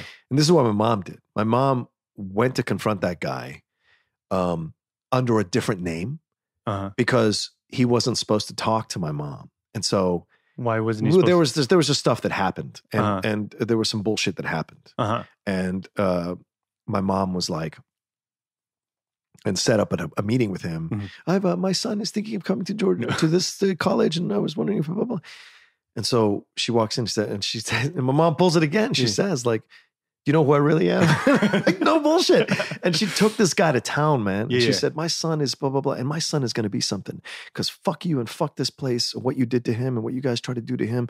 You guys railroaded him. You did, da, da, da. And in her way of saying it, right? And Yeah. she just went off on the guy. And she said, you'll see, you're going to be nothing. Uh-huh. And my son is going to be something. You just, you just, you just watch. Yeah. You know? And so it was like, I didn't know she had done this. I didn't Yeah. know she'd even planned to do this. And But she told you afterwards? yeah, she told me Yeah. after, like years later. Oh, you Yeah, yeah, yeah, She didn't tell me when she did it. She told me years later. So, like, that began a process of me like kind of wandering around for a while because Yeah. that that really damaged me. What happened there really damaged me. Yeah, you- all around. As opposed to just leaving, you said you had a semi-suicide attempt. Yeah, yeah. So- well, that was before I got in the yeah, right before that was what Yeah. sparked me getting into the military. Yeah, so, yeah. well, I like. I just want to. I just want to know, like, Yeah. what gets to that point of like, hey, I'm just want to. I just want to end everything. Well, here's my belief. I think some people are born with this, man. I think it's something in our chemistry. Some It's of a- us have this thing that it's easier. It's how would I say this? I want to say this correctly. I think it's something some of us are born with the proclivity for it from birth. Like the possibility of it seems more uh, Uh-huh. available to us As a solution. as a solution than Uh-huh. other people. I think other people would rather be homeless than kill themselves. yeah. I if I ever become homeless, I'm living on the street. I will absolutely end my life. There's no fucking way I'm living on the street. Yeah. And so there's no point. Uh huh. But other people can. Other Mhm. people think it's just about enduring, it's about surviving. Yeah. Yeah. And to me, it's about quality of life. That's And yeah. yeah. And so, like, if that ever happens to me, better believe it. There's not even a moment's hesitation. But like, Have you? Has there any been? Has there been anybody else in your family that has done it? no, No. not that I know of. Because No. I, I know I know a couple of my cousins have done it. Wow. like like second cousins. Oh, wow, So okay. I think. Yeah. So I, I can I, I can understand that it, you think like it is like a, a proclivity. You say Yeah. like people think it's a solution. But yeah, I think it's a chemistry thing. It's Yeah. a body chemistry. Some people are born with that thing Uh, that is like once they conceive of it, it doesn't seem inconceivable to them as a, as an option. So it seems possible. It seems like hey, this is the only thing I can do. Right. This Uh-huh. seems like the easiest way out Uh huh. to end the pain, Uh-huh. to end the suffering, to end the sadness, Uh-huh. to end the despondency. Yeah, it feels that way. Like you get that point where, and this is like once again, I'm 19, so to me everything's dramatic, Yeah, right? yeah. And um, so to me, I was just like thinking, well, this is this is it. Fuck it. I'm I'm I can't do it. I can't hold on. I can't do it. Like, I was meant for something more, and I'm not going to achieve it. And fuck it, I'm out. Uh, And that's how I felt. And I, I felt like no other options. And it's, Mhm. not, it's, it's not from bad parenting or what. Like my dad, mom tried to, they were great. Like they tried to teach me everything I need to have to function in life. uh-huh. I just didn't listen. Mm. I was in undisciplined, which is why when I joined the military, everything changed for me. Yeah. You know, I really got disciplined. Like I went down, I draw, I lost like 20 pounds in Mm. the military. I came out of there chiseled at 195 Uh-huh. and I was ripped and it was not a problem. Like I even hooked up in basic training. Like, and you're not supposed to hook up with anybody in basic What do you mean? You hook up with a woman? Yeah. Yeah. Like I really did that. So you're always all, all about the girls. well, I like women. Yeah, yeah, There's nothing wrong with that. I think they're, I think they're beautiful and they're fantastic and they're fun to talk to. And I enjoy getting to know women. I, I love women, man. Uh-huh. So yeah, to me, it was like, yeah. I feel like you bring dating up a lot. You brought it Oh, up. do I? I'm sorry. No, no, not not not like a bad way, but I feel like you in the in your outlaw podcast you brought it up like three times. Did I then- really? Did I really? Maybe it's just in my head. Oh. But then and then also Sorry, like I wanted to record tomorrow, and you said you're going on a date tomorrow. Yes, I am. Yeah. So you're still trying to find like the right woman. Sure. Yeah. But I think, yeah, and I, but like I really believe it's all in God's hands. Like I, I have progressed as a person. I, you know, like I, I love who I am, man, and I, I know my heart is a good heart, and I know I, you know, I, I'm, I treat people well, and I'm, I'm. I care about people who come into my sphere. Like it's a really, it's a real thing, you know. Mhm. And and some people are like weird about it because like I don't let them in. Some people I don't let in, and no matter how hard they try, they're not going to get in. There are people Oh. that I can sense that I let in, and there are people I don't, Uh, and there's a reason for that. oh, you know? said it's that thing with the the connecting thing of like, oh, she's lying to me. She doesn't want this to work out. Thing you were talking about earlier about what? of of I No, I'm talking about overall relationships, friendships, and dating, whatever. Like to Mhm. me, it's like once I, like with Perry, like Perry's a great example. Perry, Uh-huh. I love to pieces. From the moment we met, Uh huh. I was like, this one I'm going to be friends with for Yeah. a long time. And that only has grown exponentially as I've gotten to know Perry. And Perry really cares about me as a person. Mhm. We've had these great conversations. When we were at the Critics' Choice Awards, like it was an awesome night hanging out with my friend. And we got to be ourselves all night and shoot the shit. And she got to be nervous around people. I got to be like, I don't give a shit. Let's go talk to him about people. We drank. We had a great time. So what is it about her that makes it like a friendship? Right She off has a sw- she has a genuine sweetness. Uh-huh. And I'm an empath, eh, which is a kind of a curse, and I'm emotionally intelligent. So I sometimes can read people uh Uh-huh. quicker than other people, Uh-huh. and it can be good or bad. Mhm. And uh, once I sense from someone that I can't trust them, I'm never going to be able to trust them unless something Mm. happens really powerfully that changes my mind. Uh-huh. I just can. I initially know. Have you ever been wrong about that? Yeah, sure. Every Yeah. once in a while, like every once in a while, uh, like I said, situations happen or conversations happen at certain moments. You're like, oh, I didn't know. Mhm. You know, like some people have commented on Outlaw Nation podcast, like, I hated you until I listened to this podcast. I Yeah, didn't yeah. know you had all this behind you. And it's like, yeah. Or some people were like, as- I've had a few people DM me and apologize for calling me a social justice warrior because they're like, I get it now. Yeah. Listening to your podcast, I get where you were coming from. Oh, that's what they need the explanation behind Right. it, as opposed to the 20 minutes you're on Collider movie talk or whatever. Yeah, yeah. Well, and it's easier to um, take the shortcut in thinking. Uh, I think this person's just just an empty vessel repeating shit. And Yeah, it's yeah. like, no, you got to know where it comes from. Mhm. And so, yeah. So for me, that's that's kind of a thing. And yeah, I've had some amazing relationships. I've had some great relationships. I've met some amazing women. I've experienced amazing women in my life. uh, So if I, I bring it up only because I'm single, like other people bring up married all the time and Oh, bring yeah, up, yeah, yeah, or their girlfriends or boyfriends all the time. It's, Yeah. it's just, it's a natural way of speaking, you know? And to me, I'm, yeah, I'm always in pursuit of, and I want to get married. I want to have kids. I want, I have that desire. Uh, I just am a late bloomer, man. Like Yeah. I've always come to stuff later in life mhm. than other people, you Mhm. know, which is weird because I, I see now people get married like 20, 25 years old. Oh, and, yeah, yeah, you know, like, this is so strange to me. That's you know? strange I to was me. still like figuring my world out. yeah, yeah, yeah. You know, so. But but do you feel like the military held you back in that regard when you when you like the No. eight years of your life is gone to the military? No, no, I don't think so at all. I think if anything else, women, some women like to marry a military guy. You know, Uh-huh. they see stability there. know, Yeah. so for me, no, I don't think it held me back at all. I think it, I owe a lot to the military Mhm. because I also met two really amazing friends who kind of helped me grow through my twenties to Mm. become a man. You know, and we played basketball all the time. Like we would go and play basketball in DC. But I mean, that's where I learned shit talk was I was on a court. Uh-huh. And so like I didn't know what shit talking was until Yeah, I started playing basketball. And like you got to learn to shit talk in Yeah. DC, Virginia, Maryland. That's how it works, man. You got to Yeah. play ball and have fun. Yeah, you got to stand up for yourself. You got to stand up for yourself. and learn how to take it, as yes, you opposed to just like uh, getting angry and beating the shit out of somebody. which happens on the court sometimes too. Yeah, Well, yeah, I never threw a punch, but I've been punched on the court. really. Oh yeah, for shit talking. yes, Yeah. I was good at it. Where do you think these promos come from? I just Uh, didn't. I just grow yeah. up out of the ground. yeah, Like I learned to do this playing ball, and uh, man, I would infuriate people yeah, yeah. because I would go like to the minutia of the stuff they were doing. So then, what what happened after he threw a punch at you? I would just laugh, or if it was a really, I would just kind of stand there. I could always take a punch, man. Yeah, yeah. I got a strong chin. I can Uh. always take a punch. I've never gone down. But you never you never threw a punch back. No, oh, No. of course not. No, No. no, no, because there's a joy in causing them to to break. Because then their friends get in and kind of, you know, like, Oh, oh, yeah, yeah. dude, sorry, sorry, you know, blah blah blah.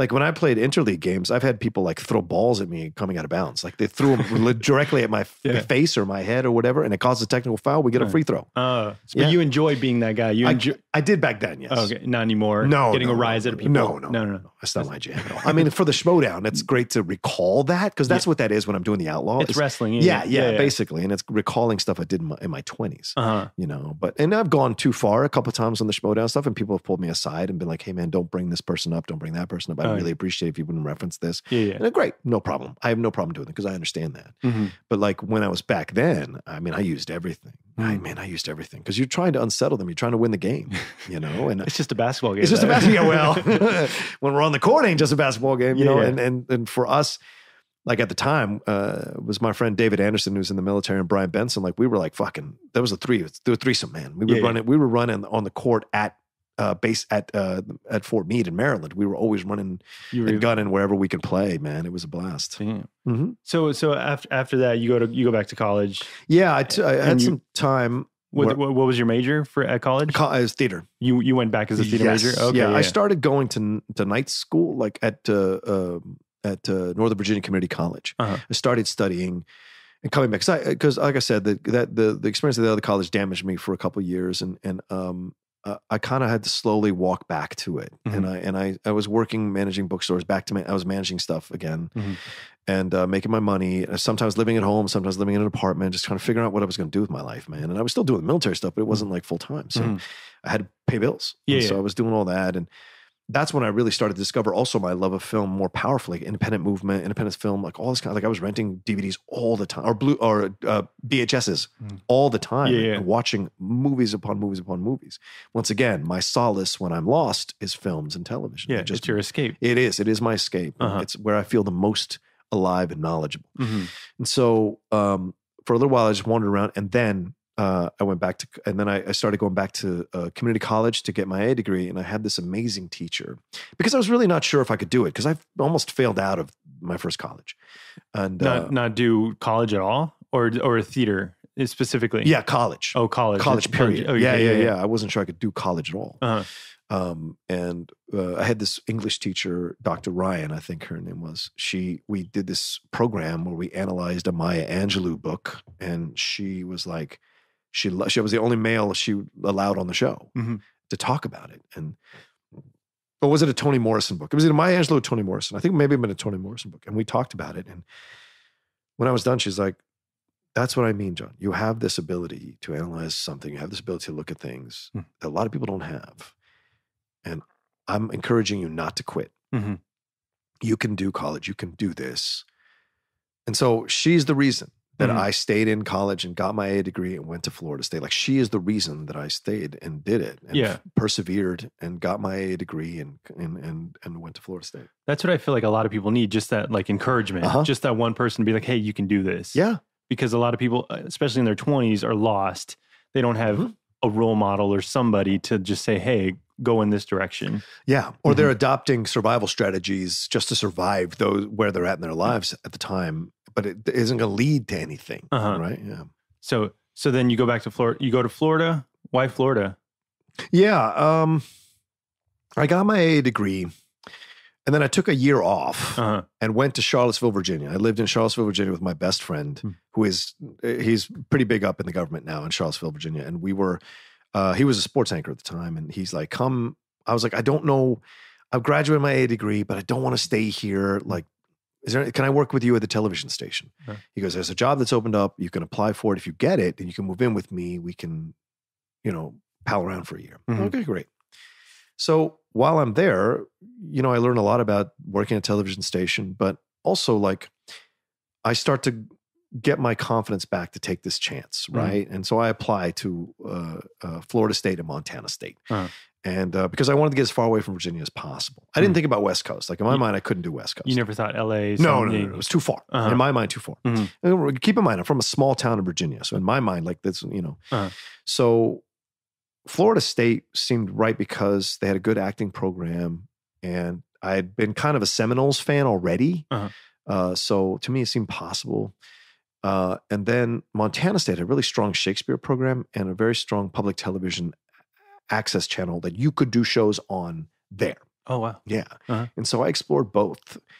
And then my dad and I drove down because my dad and I had kind of made up by this point. Like a, a, a lot of my anger had dissipated and I had become more more believing in myself. Oh, you guys did have to fall have a falling out. Oh yeah, we we we had some pretty bad fight. Like there's a year where I lived at the house where we didn't talk. A you year. you lived together and we lived speak together. didn't speak. Yeah, that's a Latino thing, man. Yeah, yeah. that did, that that doesn't make sense to me because I had a friend that she lives with her Yeah. her dad. They don't speak at all. But, Yeah. but I'm like, you go to you go to the same fridge. Listen, that's a Latino thing, man. Yeah.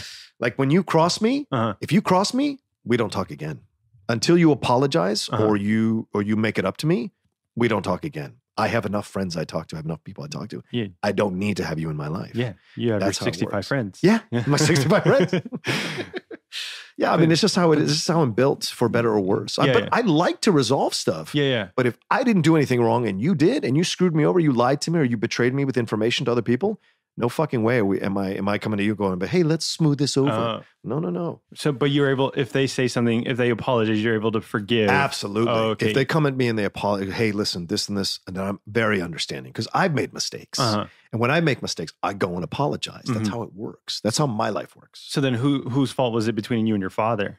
I think it was just us, just just us. yeah, I mean, like, who, who is it when you fight with your parents? Yeah, like yeah. it's just always like it's both sides. I think. So then, know? who made the first step in resolving it? Uh, my dad, because I got into a car accident that Hmm. shattered uh, a rear a rear view mirror shattered in my eye. Whoa. And I saw if you can look there, I have like scars on my eyebrows in my Uh-huh. eyebrow here, and that's from a rear view mirror shattering in there. And my dad came. It was at the time when we weren't talking. Uh-huh. my dad came to the hospital with my mom. Yeah. And uh, I remember I was blind because they had put like a thing because it happened on a on a one lane road uh, coming back from college when I was still going to that college. Was it just like a freak freak accident? Yeah, freak they- accident. Oh wow. Total freak accident. Mhm. Like uh he cro- I think he crossed the over the lane and swiped, swiped my rearview mirror and Uh-huh. just shattered into my eye. Wow. And uh, I was lying uh, there, and they had called my parents, which I didn't know, and I was like so out because I was in shock. Yeah, yeah. You know, I passed out on the hood of the car after I'd called the um, ambulance or Uh-huh. had the the guy call the. ambulance. What had happened was they sideswiped the rear. So my eye immediately exploded into blood. Wow. I'm screaming, look in the rearview mirror, going, "Holy shit!" Because there's just blood all over my face. There's Uh-huh. there's pain from the shards of glass that are in my cornea, You- and I just like lost it for ten seconds, and then I said, "There's a Shell gas station a mile and a half away. If you can keep it together to get there, they'll call the ambulance, and then you'll get home." And so you're, you're, you're telling yourself that. Yes. Oh wow. yes, once again, this determination to survive. Whatever stuff I have, Uh-huh. whatever times I still have a desire to live, Yeah. to survive. And so that kicked in, and I was like, okay. And so I drove straight to the Shell gas station. I remember I got out of my car. the guy is freaking out because it's late at night. The guy's Yeah. freaking out. And I said to him, call the ambulance. I've just been in an accident. I got sideswiped. I remember, I'm going to use your bathroom. Can you give me the key? I'm going to try to put water. Yeah. Because at this point, I was thinking to myself, I'm going to lose the eye. I have to work on depth vision. I'm going to have a patch for the rest of my life. yeah.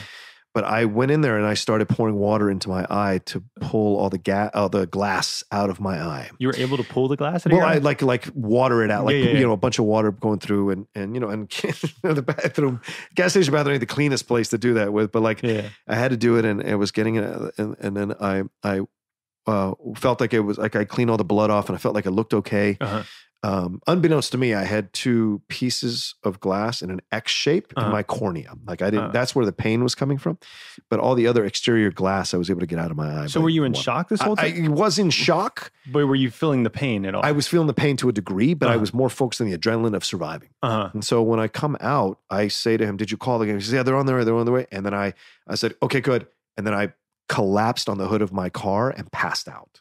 And that's it. That's And- all you remember? And, and then I wake up. The next thing I remember is waking up in the ambulance, uh-huh. being wrapped up.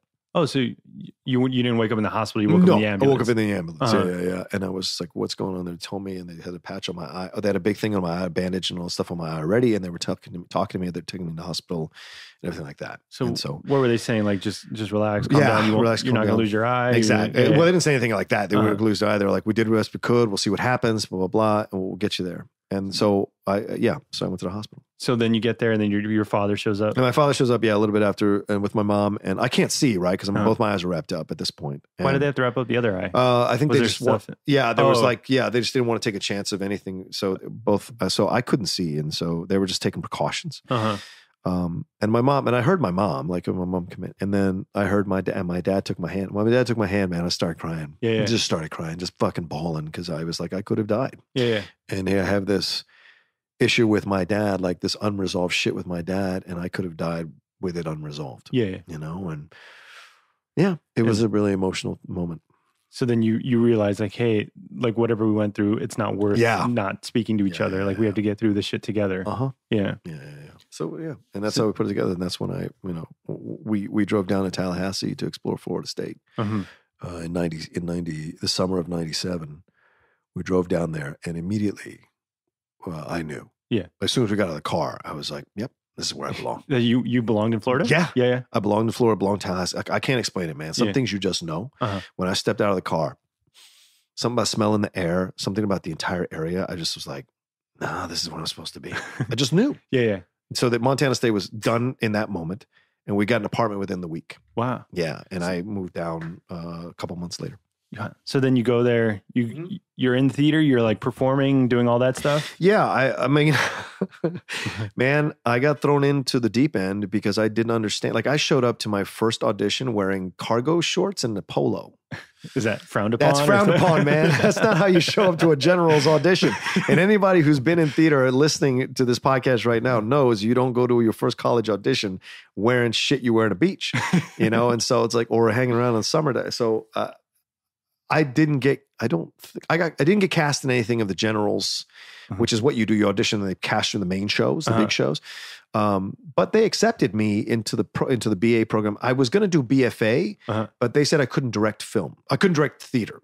Wait, what do you mean you can you couldn't direct? Yeah, they wouldn't allow you to direct. Uh-huh. Once you do BFA acting, that's all you do is acting. Oh, okay. they don't yeah. let you go direct something else. Uh-huh. That's how they pitched it to me. And then I said, uh, then I don't want to apply for BA, BFA rather. I'd rather be a BA. So you want to do acting like for film or for or do you didn't did you want to do theater? I want to do theater Uh-huh. and I wanted to direct theater. I wanted to produce theater. That was Uh-oh. my, like, cause I'm, okay, cause I'm coming back 27 years, 27 years old, 26, 27 years old. yeah. I'm not the kid who left at 19 Uh-huh. from uh, uh, the other college. But is everyone else a kid? Like Yes. Everyone else is like everyone ne- else is seven years younger than me. Yeah. Yeah, yeah, yeah. So it's for, but I came back with a determination, with a desire to Uh-huh. graduate, a desire to get my degree, a desire to learn to be an actor. uh, And so I spent, and, and so I, when I came back, it was like, you know, I was like focused yeah. and I was learning. I made mistakes and I would learn quickly. Like Uh-huh. I never showed up in a general's audition again with a cargo pants or a pair of shorts. Yeah. Like I focused. I learned a monologue because I did a monologue out of a book and I held the book in my hand. Oh, you didn't know So that. I didn't know how to memorize yeah. it. Like I really didn't know anything, Yeah, you know, because I had just done stuff at community college, like occasional plays at community college, but I didn't know what it was like to do like a legitimate thing. Uh-huh. And no one had told me. I didn't because I didn't know anybody. I moved to Florida State not knowing a fucking soul. So who's the first person you meet? Uh, my friend Rains Carr, who lives in Alabama now, we became really good friends, and he kind of shepherded me through my first year there. Was he also in the program? Yeah, he was also in the program, Yeah. but he he he was also older. Uh-huh. He had he had flunked out the first time around and came back oh, wow. at 25. Uh-huh. And so we kind of got along.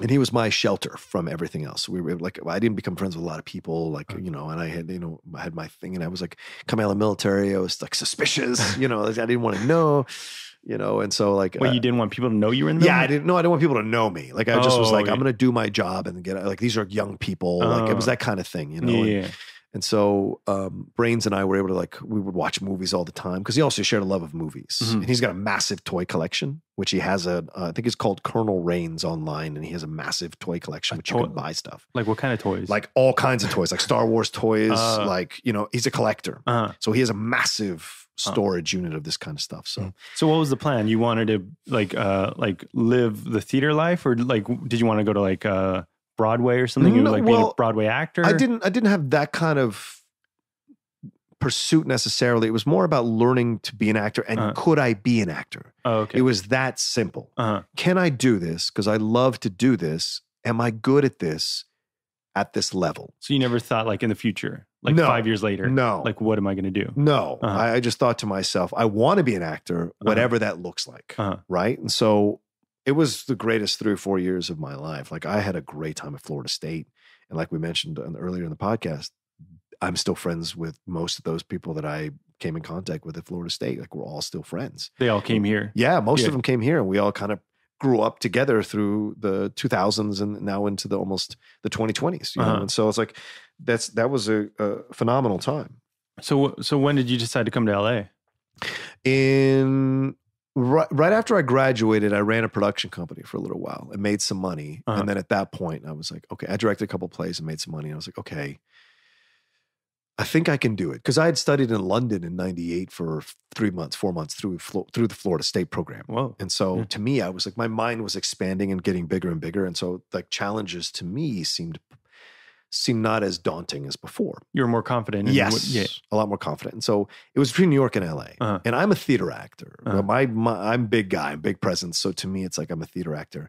But I I just didn't have the like I just didn't think that was maybe the right choice in the end. And I had more friends going to LA and I just went with my friends, you Mhm. know. And uh, Michael Vogel, who's still one of my top top friends, like we we knew each other in London. We roomed together in London, so we became really good friends, and we're still friends now. Mhm. And uh, you know, so we he was like, you know, come, come on, come on, come on. And my other friend Michael Ross had already gone ahead of us, and so he'd kind of like had a, a lay of the land, Uh-huh. you know. And so, and I moved out there, and I moved in with a friend who had been a, a teaching assistant, and he was around my age, Latino Mexican guy as well, Mhm. uh, or Mexican heritage, and into Shakespeare as much as I was, um, and all that. Huh. And so that's when I moved to LA. So what do you do when you get here? Like Uh, we we move in together. Uh, um, I take headshots. I take black and white headshots, which is what you did back then. oh, so you're Um, hitting the ground running. yeah, you're, you're trying gonna, to. yeah. Yeah, yeah, Uh, so, you take headshots. What do you do? Do you do you go on auditions like every day? Or, yeah. Not every day, but I would go on auditions. Um, I'd get an agent. I tried to get an agent. Uh-huh. Uh, you know, because I'm Latino. I thought, well, there's a market that's not not not not a lot, not exploited a lot. So it's like, okay, let me find out what is, what's available there.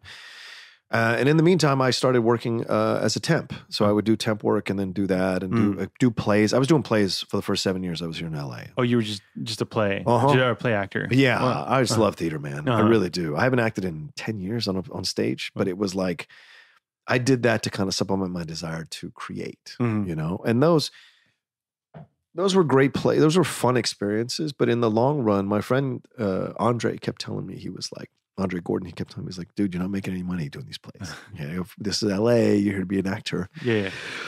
you got to be in movies and TV. So I had to kind of make a change in my life of more focusing on that as things went along. And I, and I, to be honest with you, Beardo, I wasn't ready for uh, LA as much as I thought I was. LA is, man, for all the sunshine and the, you know, ladies in bikinis and these amazing things you can do. The city can kick your ass, man. It's And brutal. yeah, it's brutal. It Yeah. can be. It's not as brutal as New York. New York, like New York, is like someone stepping on your throat every day Yeah.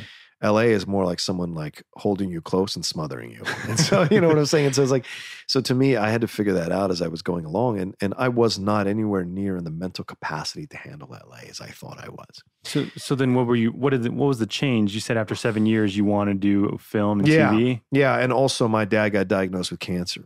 Wow. And so I kind of had to confront a lot of things about myself. And I'm 35, 36 at the time. Uh-huh. And I was like, what have I been doing Yeah. for the last five or six years? Like I would get occasional things, but it was nothing anything big. You're like, where's my life going? yeah, where's my thing. life going? Yeah. Exactly. And by this point, I'd moved in with Michael and my other friend Ian, we were living together and all this kind of jazz. And and so it was like I had to kind of, you know, make some changes. Yeah. You know, and so uh So what were the one, was one of the things you did like to make a change? uh I started to look at this more as a career Mhm. and I started to open up the idea of spending making spending money to make money, spending money to Uh-huh. get into the situations, to going to workshops, exploring those kinds of things. Mm, like investing in yeah, yourself. investing in myself Uh-huh. exactly. Being more focused about it, like reading books about it. Uh-huh. What was the success? You know, because I thought I was going to come out here and kick ass, and Yeah. no one and take names, and but you go on those first auditions, you, you it's your ass that gets kicked. Yeah. you know, and and those are the moments that I started to regret not having a BFA because the BFA, most great BFA programs teach you how to handle the transition into LA or New York and how tough it can be because they set up showcases Uh-huh. for you to audition in front of these people. Oh, okay. Yeah. So you had an audition like that before? No, I'd never Mm. auditioned like that before, and it was uh, it was uh, quite a change because then they'd be like, "Do less, do less." I didn't know what that meant because I'm a theater actor, and Yeah. I was like, "What the fuck does that even mean? Do you want me to lie on the ground?" Yeah. And will I get the part like that? You know, and so it was a really strange experience for me coming here. And when you go to the auditions, is it just like a bunch of other Latino actors that are Yeah. trying to get the same thing you were getting? yeah, And you're most like, of the time. uh huh. Yeah, And you're like, I'm just another guy. Yeah. In, in a city of other guys. Right. Trying to do the exact same thing. right. Where I was king, I was king of the walk at times at Florida State because I was older. Uh huh. They were able to put me into like give me some BFA roles. Uh-huh. Because I was able to play these parts. Like I played a dad in Lie of the Mind. Mm. I played uh, uh, uh, Claudius in Hamlet. I Mm. played uh, Mr. Putnam in in um, The Crucible. Mhm. So I was playing these older roles. So I thought, well, Oh, I've you- got some gravitas here, so to speak, so to Yeah, yeah, speak, and I could walk into a, an audition and nail it. And it, it, it was a, a, a very rude awakening. Do you, Yeah. do you remember like the first uh, part you got or first callback you Yeah, got? yeah. First, first part I got was uh, thanks to my friend Karen Morris, who was a casting associate for Charmed, Mhm. and she got me in the room She, to, to audition? to audition. Yeah, yeah. She didn't get me the part. Yeah, she yeah. got me in the room to audition, So then uh, and I booked it. you booked it Yeah, without a callback or without anything? without a callback. Yeah. Oh no, no, I had a callback. Yeah, Uh-huh. but I booked it, and So- it was like a five part, five liner. Uh-huh. And some people have still tweeted me every once in a while that they just saw, just saw the Outlaw on Charmed. In the TV show Charmed, that witch show? yeah, the witch show. Yeah, with Alyssa Milano and, Uh-huh. and uh, all them. Yeah, I was on that, and I, So is that one of your first times on set? Yeah, Like, on first any- times on set on any set doing Uh-huh. anything. Like I well, when I first came out here, Uh-huh. I was lucky. I auditioned. There was like a uh, an ad for um uh to be an ex a military extra for this for the film Windtalkers. Uh-huh. So when I first came out in 2000, that was there, and um uh my friend who was there with me. Mhm. Uh, Edgar, he was like, "Hey, I just saw this in Backstage West. Do you want to audition?" It was literally two days after my father had left because my father had uh, we had driven across country. We when we moved to when I moved to LA, my father and I drove cross country. It is the greatest trip I've ever taken with anyone ever. You Like, guys were in the same car the whole the truck, a, Yeah. a U-Haul truck. Yeah. yeah, From and Florida to LA. to, from from uh, Virginia oh, you, to oh, LA. you went back to. Oh, yeah, okay. yeah, Yeah, yeah. Because I had to pack all my stuff up. Oh, yeah. from Virginia to LA. So we drove the whole uh, all across, and it was the it was like the beginning of the fully repairing our relationship. We were able to have conversations and and talk, and there was never any fights. And my dad told me so many things about his life that he'd never told me before. that you never knew. that of. I never knew yeah, of. Yeah. Yeah, because I kind of reached that age where he could relate to me as a contemporary. Yeah, yeah. And rather than just his son, as a friend rather than just his son. So then at that moment, you're like, you understand, like, oh, this is why he did this. Right. This is why he I'm did just yeah. beginning the process of understanding it, right? Uh-huh. Exactly. And so um, we had a great time, and Mhm. we broke down like four times. What do you mean, that bro? fucking truck? right? so yeah, it broke down on us four times. We How got did- we got our money back. Oh, yeah. Yeah. How long did it take? Like a week? Yeah, it took Yeah. five days. Oh, shit. Yeah, and we in Arizona we broke down with no cell reception. so I was like, I don't know what we're gonna do here. So would you walk to like the nearest gas no, station? we kind of waited till the truck kind of cooled down, Uh, and then we started it up again, and it worked. Thank God, because I mean, being stuck out in Arizona, Yeah. and we were out in the mountains, son. uh, and it wasn't no like vegetation; it was all mountains, red clay. yeah. So like, I was worried we were gonna fucking die the coyotes or wolves and shit. uh, So yeah, but like we drove out here, and then when I came, when, when my I put my dad on a plane, he left after we bought furniture and everything like that to to furnish my place with Edgar. And um, Edgar's like, "Hey, there's this audition on a Sunday. Do you want to go? It's for this film, Windtalkers. It's uh, John Woo's directing, but it's like you being a military extra, and you're still like kind of just a couple of years out of the military. Do you want to go?" And I was like, "Oh yeah, fuck it, let's go, let's go." We almost didn't go. Like we had brunch uh, at like IHOP or Denny's or something, and then we were like, "Well, it's in the it was in the valley," and I was Uh-huh. like, "Yeah, let's let's go." So we went to the valley and. but why wouldn't you go to that? I don't know because I wasn't sure I wanted to book something right off the bat or audition for something. It's a Right. Sunday too, and do I want to be an extra? Oh yeah. You know, but we are like, fuck it, let's see what the experience is like. So Yeah, we yeah. And uh, Edgar got it, and I got it, but I got as one of the core extras, one of thirty main extras, Oh. which means I got Taft Hartley'd in from the beginning. So I've never worked a non-union day in my life. You were already SAG eligible from the beginning. I was. SAG eligible from the beginning, which Uh-huh. never happens, right? No. It does Yeah, not happen. But people were super pissed that I, like my friends who had come out here ahead of me, uh, were super pissed Yeah. that I had it was I was I was SAG within three weeks of being here, like SAG eligible. yeah, yeah. People are still like ten years in the business, not being able, Not being to, to be in SAG. because back then you're searching for that third voucher. You Yeah, got to yeah. get that third SAG voucher. You know. Oh, so it's not the third thing, the three vouchers thing anymore. I don't know. I thought it anymore. was. Maybe oh, it you don't know. You're SAG. Yeah, I don't know. I'm SAG. So like at the time, yeah. So I got it, and I was very fortunate, and I got to work with Nick Cage and Christian Slater and John Woo Wow. and all these amazing people. Uh-huh. and it was such a great experience you know but it was terrible as well because you're you know doing you're shooting at 1 a.m and freezing cold Oh yeah, yeah. you're stuck on a bus with five other sick people when they can't put you out on set because it's so cold and so you're getting sick because they're coughing in an enclosed area Uh, and so it was all of that but like but i made some really good friends and i ended up being on a reality show afterwards with that because the uh, um, the, the casting director, the technical advisor Oh. really liked me Uh huh. and so he brought me in to do two weeks of ADR work Uh-huh.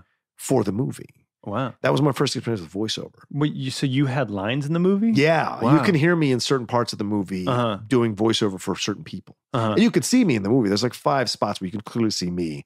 I'm heavy as fuck because I didn't know that like you when you did Crafty on a big feature film, like you could eat a buffet. oh yeah, yeah. And we were doing Tony's Tony's catering service was doing our thing. We had Yeah. Lobsters for dinner. Steak, everything. Yeah, steak. It was nuts. Yeah. And they had crafty. You could take as much food as you want off crafty. So I'm shoving down candy bars and granola bars, and I didn't think twice about it. And next thing you know, I'm 250 fucking pounds. I'm like, Jesus Christ. You didn't think like, oh, I'm going to be on screen. Maybe I Yeah. should slim down or something.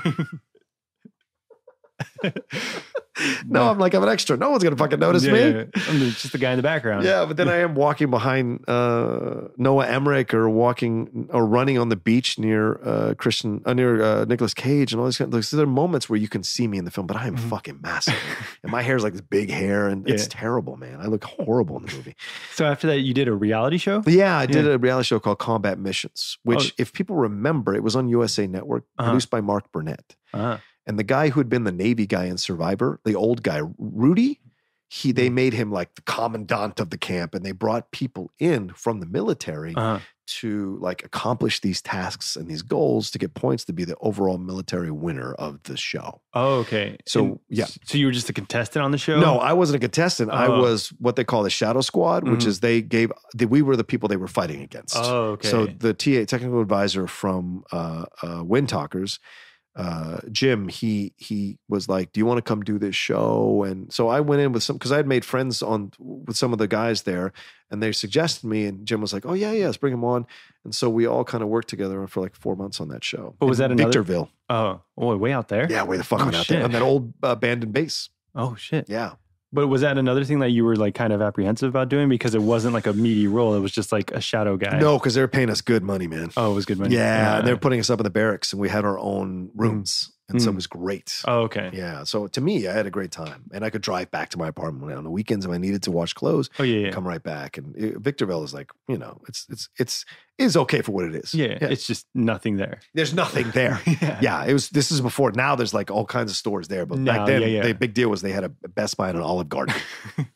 So, so, so when you were SAG, did you join? You joined SAG right away. You had to join, or you, you I was chose SAG eligible and then I joined after I finished Windtalkers. Oh, okay. Because I had money, because they were paying me like 250 a day, dude. on Wind Yeah, Talkers. Windtalkers. Oh wow. Yeah, it- Yeah. they, they were paying you good money Uh. because you get the higher end rate and then you'd get money for overtime Uh-huh. and you get money for wearing makeup and hazard pay for being around the, Uh. the explosions and the, because of a war movie. The bumps. Yeah, the you- bumps, the yeah, bumps, yeah, exactly yeah. the bumps, yeah, Yeah. which was always a weird negotiation thing. and so, yeah, I did that for a, uh, I did that for six months. So was that was that like the most money you've ever made at that time? Yes, Yeah. yeah, I would So- say that. Sure. Yeah. So you're like, oh, this is easy. I can come yeah. to LA. So I pissed it all away. I did. I pissed it all away on clothes and food and dates. really? And yeah, oh yeah, man. You're just I- living large? Stupid. Yeah. Stupid. you didn't like I said, uh yeah, like I said, I was not. I wasn't uh, mature enough to handle LA. Like I Uh-huh. just wasn't when I got here. And I Oh, so that's what you so mean, but it just like eat, spit you up, ate you and spit you out. yeah, it really did because I Uh-huh. didn't think, oh, I should invest this. I should save this. I Uh-huh. should do something with this because it's not always going to be around. I just thought, oh, I can make this anytime I want. Yeah. and I just pissed it all away, man. So then, what do you do after you piss it away? Well, I did that reality show. Oh yeah. I got a little more money, and then pissed that all away. and then I started temping and, and doing and auditions and stuff like that. And so, like I said, in 2007, dad got di- or 2006, dad got diagnosed, and and like I made some. I started to look at some different things, and at the same time, I was going. I decided to go into therapy because a Mhm. friend of mine um, in 2005, she sat me down and she's like, "Listen, I." I um, you're having a lot of fights with your friends because at the time I was like I was just really angry about everything, man. Because Yeah. I wasn't succeeding, I was Uh-huh. I didn't have any money. Uh huh. I was unhappy. Like I was just so unhappy. So I was starting to take stuff out of my friends. Yeah. That suspicious thing came back, Uh-huh. you know? And so I thought my friends weren't were excluding me from stuff or weren't, weren't Mm. didn't want me to be part of stuff. So I started to think that this was like this was happening. And Yeah. so yeah.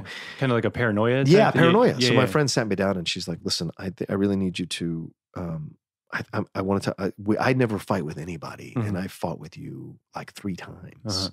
And I I need you to I kind of go to therapy. And Yeah. I'd never thought to go to therapy. Like it was something that was always in my culture seen as like, you know, For the uh, crazy Yeah, for the crazy people, Yeah, right? Not for, you know, anything that was like you could be managed. And Yeah. So um, but it was it was at a CPK and Mhm. we had lunch and she said that to me and, Uh-huh. and and and I listened to her. And my friend Edgar had been going and he suggests this place called the Maple Center. And I went there and it's where people are getting their hours before they become full-time therapists. Oh, or okay. psychiatrists. So yeah, it was like a it was like a work in progress type thing for Mhm, them. Yeah, mhm. Okay. So, but did, did did that help you a lot, or did oh it- yeah, yeah. It changed my life, dude. Uh-huh. Like it really did. The, the doing the therapy, I was able to explore where all those feelings were coming from, and they were from, which is ironic. It was coming from my dad because Uh-huh. my dad had.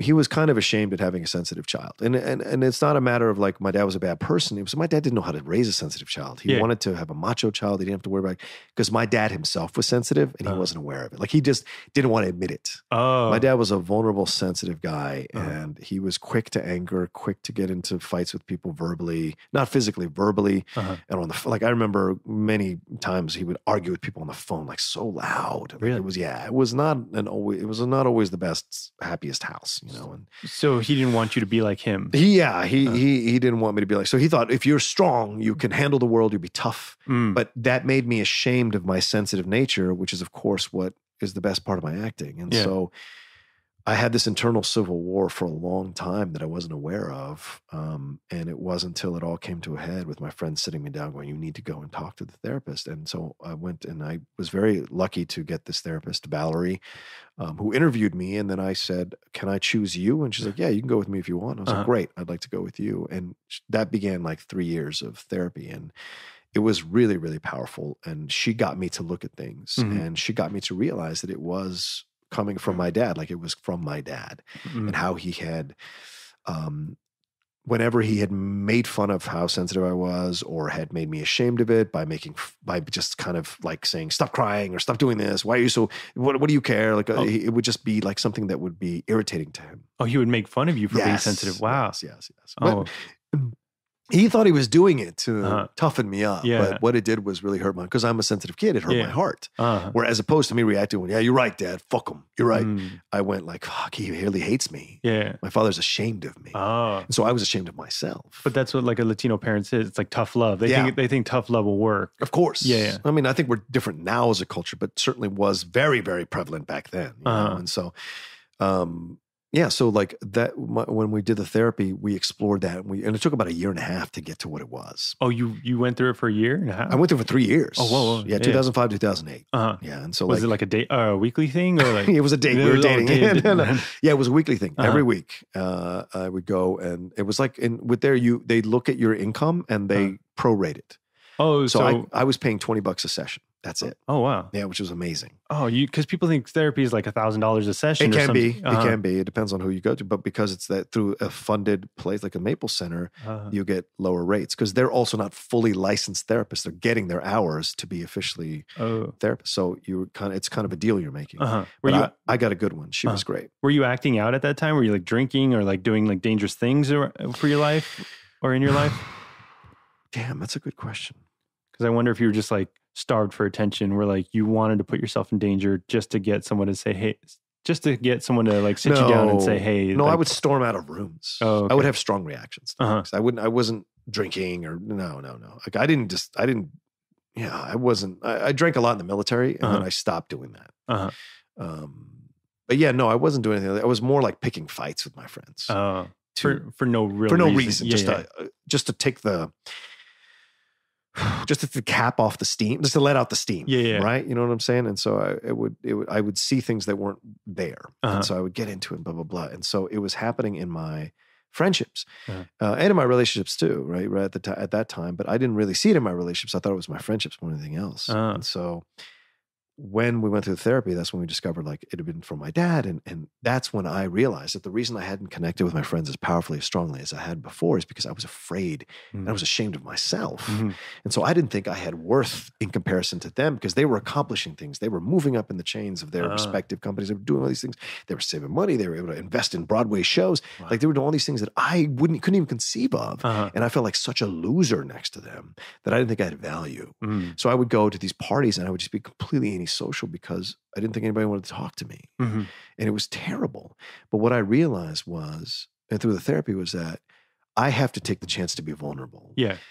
The vulnerability is what I was ashamed of, Mhm. yet the vulnerability is where my true strength was. And that's where you're afraid of being vulnerable Yes. to, to- for somebody else. right. Or, because yeah. I was told being vulnerable is being a pussy, is Uh-huh. being uh, weak. Uh-huh. Right. And so my therapy got me to see that being vulnerable is actually strength. You're So- able to talk about your feelings and convey, and convey your feelings. So I was able to tell my friends, Uh-huh. even my friends who were like kind of outside of my realm of my really big, like, here's what's been happening for me. And I want to tell you this. Uh-huh. And maybe we won't be any closer friends, but I feel like I need to tell you. So I would oh, allow my, take the chance to open up and let myself Yeah. get hurt. But in exchange, my relationships deepened so powerfully. And it was one of the greatest things ever. Like all my drama stopped, all the Mm. fights with my friends, everything stopped. And people were like amazed at the changes within me. Yeah. And relationships with women, did that like help out? Or yeah, for the most out? part, Yeah, it did. It did. And, and, um, I was able to like, you know, kind of come to terms with stuff, but also like when my, but then also having to confront my dad, like that was the really hard, hard part of it all. And, um, you know, but my, to my dad's credit, he was able to like, because by this point, my dad had diabetes for 10 years. And so he was already softening up. Uh, And then when the cancer came, he really had to face his mortality. uh-huh.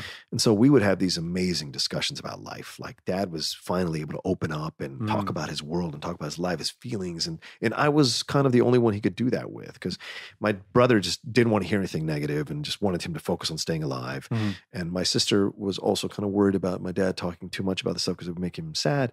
But so and and and man to man, like we were Yeah. just able to have conversations because I had been through the wars of my life, Uh-huh. and so we were able to just kind of like have conversations as friends and that's when then when the ther- like when the therapy was happening he was initially like hesitant to me going and of course but the, pulled out the old school stuff about being you're not crazy and i was like Yeah. well no i'm not but i need to figure this out and then we were able to start having these conversations about what had happened between us Mhm. and he, to my dad's credit he was open to having these conversations and Um, Yeah. it was amazing That that that helps so much just to Mhm. talk talk things out and just like communicate, verbalize everything that's Mhm. going on in your head. Yeah.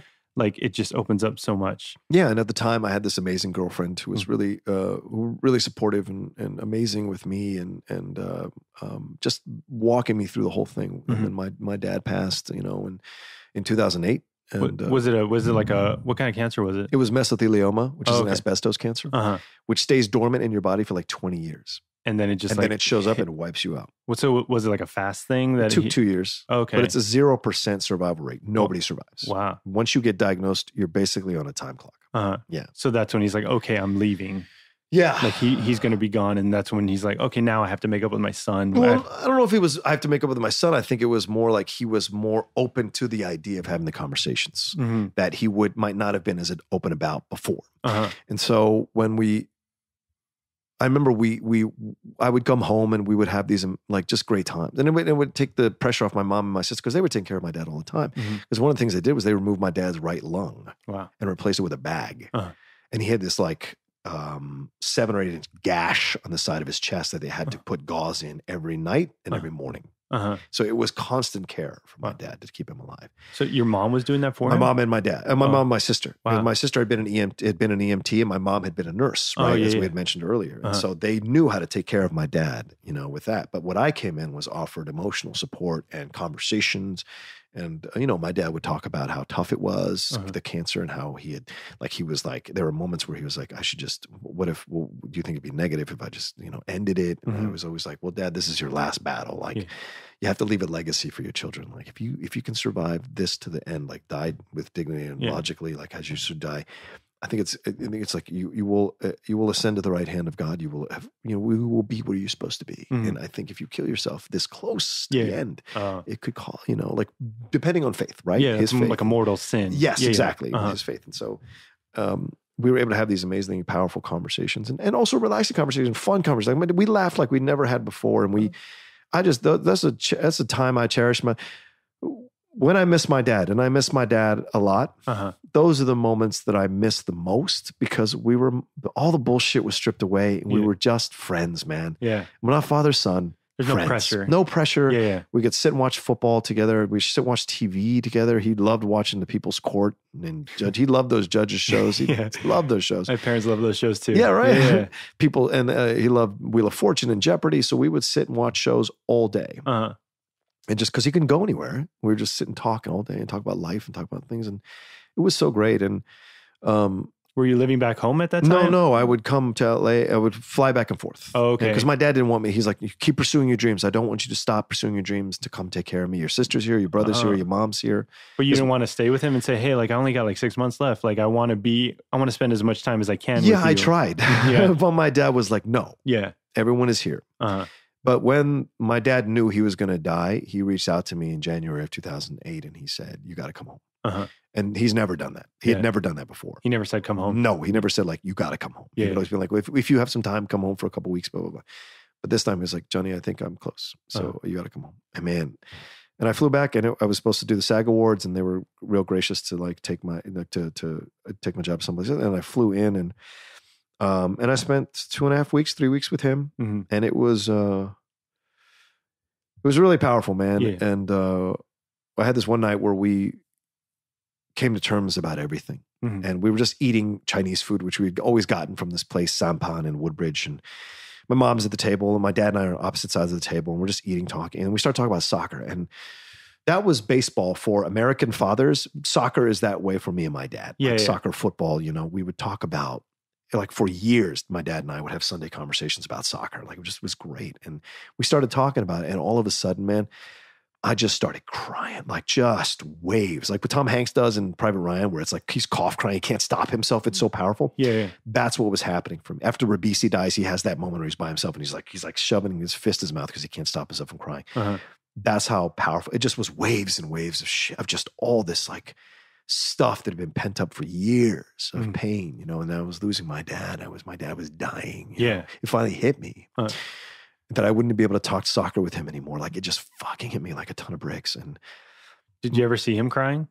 no but what he did was this he reached over and he held my hand my dad had never Uh-huh. done that like he'd always made me ashamed that i could cry easily he'd Yeah. always made me ashamed of it Like men don't cry. yeah, men don't cry, that Yeah, kind of thing. But this time he let me just, and he just held my hand as I cried. And I, that meant so much to me. And, you know, he said to me, he was like, I want to say something to you. And I want you to know that I'm sorry for every mistake I ever made in raising you. I loved you. You're my son. You're my firstborn. You mean everything to me. Wow. And I'm sorry that I'm sorry, I I didn't do a better job, you know? And it was so powerful for me because it was finally like him saying that he was proud of me and that he loved me. And, and I thought I had let him down so many times because of my own internal struggles with how to live my life, with how to live, the, how to be, you know, how to fight against this internal civil war. I thought I had embarrassed him and ashamed him. And he just, he gave me, he said to me, he said, and I said, you know, I said, Dad, I'm sorry too. I'm sorry for any time I hurt you, said anything wrong you know, mouthed off to you, did embar- like embarrass you in any way or hurt you? Like, I, I'm sorry too. And he was like, no, no, it's okay. I don't want you. To, I just want you to know I love you. I always loved you. I know it wasn't always easy between us, and I'm sorry for my part in it. Mm-hmm. And I don't think we could have gotten there if I hadn't done the therapy. And I don't think we could have gotten there if I hadn't had these conversations with him while I was doing the therapy, yeah. where we were opening the door up slowly, and he was, he was okay opening it and vulnerable because he believed he trusted that he, I wasn't going to blame him. Yeah. Like, and that's the thing I learned in therapy was that with my dad, like you had to understand why he couldn't be the kind of father that would have been successful with a sensitive kid mm-hmm. because of his upbringing, because of the struggles, because of the abuse, because of all these things that colored how he parented. Mm-hmm. It was difficult for him to parent me correctly. But, at, but at that time, he was saying, "At least I tried." Yes. Yeah. Yes. And he was saying, "I tried. I did the best I could uh-huh. with what I had." Mm-hmm. But I want you to know before I leave, I've always loved you. You've mm-hmm. always been my favorite because you were firstborn, mm-hmm. and you've always been like. You just want you to know, like I loved you, and I mm. loved you more than you know anything. And I was, I am proud of you. I'm proud of the man you've become. because you know the therapy was changing me too. I was more settled. I was more like able to have these kind of conversations and I, I was able to love myself, man. And yeah. that was really powerful, man. And so um, the therapy really helped with that. And, so everything yeah. just connected. It was yeah. just like the perfect time. It really just did. Like now we can settle everything. That's and we did. Going on. Yeah. And we had a great time. I remember we watched the Giants Patriots Super Bowl, the first Giants Patriots Super Bowl together, which uh-huh. was really great. And um, and then um, he put me on a plane. Son of a bitch. What, what do you mean? He, he knew he was going to fucking die. Uh-huh. And after we had that conversation, and we'd come to, he said, I think you you should go back to LA and blah blah blah. And I'm like, but dad, he was in hospice at this time. You which I, wanna, I didn't understand what hospice was fully. Is that at home? Or? Yeah, at home. Uh, uh-huh. So he's basically waiting to die. Uh-huh. And so he's like, you gotta go. You've been here three weeks. I don't want you sitting around here waiting for me to die. I want uh-huh. you to go back, keep living your life, blah blah blah. And I was like, okay, okay, but I'll come back in a couple of months or three months. But he's like, yeah, of course, of course. Gave me this. He pulled me into the bedroom. He gave me this goodbye message, and it was it was so strong because he just was like you know, he just said, don't quit. He just said, don't quit. It's going to get tough. I'm not going to be there for you. Fight. He just said that over fight. You deserve it. Fight. You know, and it was so powerful to have him say that, you know, my dad's all weak and frail at this time. And it just was so bad. I hugged him like I held him like I was holding a piece of, of crystal or porcelain. Like I didn't want to drop him. And I just held him and you know, and he's and I said, I'll be back. And you know, he fucking knew because he just goes, okay, yeah, yeah, of course, of course, of course. He just did that because he knew he was gonna die, and he just was telling me like, sure, sure, sure, sure, you'll come back, sure, sure, no problem. And so, you know, I, I got on the plane, I went back and and um, I called like three days later to talk to him, and I my mom picked up and we talked, and um, he's like, uh, I tell him I can't come to the phone. And my mom was, he can come. He says his throat's clogged up, and mm. but we can't talk him, you know, because at the time the fluid was really bad with my dad, and he's like, oh, oh, you can't talk. I was like, okay, well, tell him I'll call him on Friday, blah blah blah, or you know, he's, he's like, okay, okay. He died that he died that night because he knew, he, yeah, he he sent me back because he knew I wasn't going to be able to handle him dying in front of me. You wouldn't like you oh, wouldn't God. be able to see that. No, no. That's your father. That's, that's the, that's the guy who raised you. That's that's your life. We had been through the wars with each other and outside of each other, and had come back, and had discovered our love for each other, this powerful love for each other. Mm-hmm. And when when he set me on the plane, he knew what he was doing. And it comes to the phone, he knew what he was doing. He wanted our interaction, our last interaction, to be the speech he gave me, to the, give me the, the counsel and the speech he gave me, and the hug we had. And when he died that morning, like my, I remember my sister called, my sister had to call me like 15 times to wake me up. Mm-hmm. And I got the phone call and I just was like so kind of out of it. And she kept saying he signed a DNR. And I, what does that mean? Yeah. And she says DNR. I was like, what does that mean? She goes, do not resuscitate. Do not resuscitate. And I was like, oh. Huh. So I said, he is he dead? She's like, he's gone. And, you know, I cried. Um, Yeah. What do you? What do you? What's the? Yeah. What do you do at that time? I, at the time I was, seeing this girl and Uh-huh. I, I said, will you take me to the airport? Um, because my dad passed, and blah blah blah. And her mom had her mom had passed from cancer early, like a year ago, Wow. a year before this. So she understood, right? Um, I was seeing someone else at the time. This is an ex girlfriend of mine Mhm. who picked me up and took me to the airport, but she lived right down the street from me. And she said, if you ever need me for anything, Mm. because she knew what I was going through, Uh huh. I will be here for you. Um, and so um, she picked me up, took me over like four in the morning. Hmm. And but I before as I was waiting for her to pick me up, this is no lie. This is why I believe in God and angels in heaven and stuff. I was sitting in the uh, living room on my futon, television on, just absentmindedly after I packed. And then, and this is no lie, out of nowhere, out of nowhere, the room kind of got a little darker. And then I saw this light in the corner. Mhm. And I will swear on everything I am that that was my dad coming to say goodbye to me with his spirit. And I immediately put my hand out and I felt him hold my hand. And then I felt him let go, and then the room got brighter. It, And wow. it was not like it wasn't like it was all dark. It was just it got a significant, just a little bit less, Just noticeably. yeah, it was yeah. noticeably uh, darker and then noticeably lighter. I forever I will believe that that was my dad coming to say goodbye. Mhm. You can you can feel his presence in, Uh-huh. in there. Yeah, because we had Yeah. made a deal. Uh huh. We'd made a deal before. Like I'd said, I said if you, if there is an afterlife, if there is God in heaven, you got to find a way to let me know. Yeah. You got to find a way to let me know. And he did. and he kind of did. Yeah, yeah. And so it was like, in that moment, I was really like, just I felt peace, you Mhm. know. And and uh, my friend picked me up to I flew in, um, and then that that like when I arrived, they took me right to the morgue, and um, I insisted. I wanted to see my dad. And they drove me down there, and, and my sister and my mom picked me up, and, they, and I went in there, and we walked all the way down. And Did my you- sister had connections because she'd been an EMT. She had Uh-huh. connections to get us in there. And Did you go alone or did you go? no, I go with them. I went with them. Uh-huh. And um, as soon as I turned the corner, I saw my dad in, in on the gurney Mhm. behind the glass because they, you know, I, I just lost it, man. Yeah.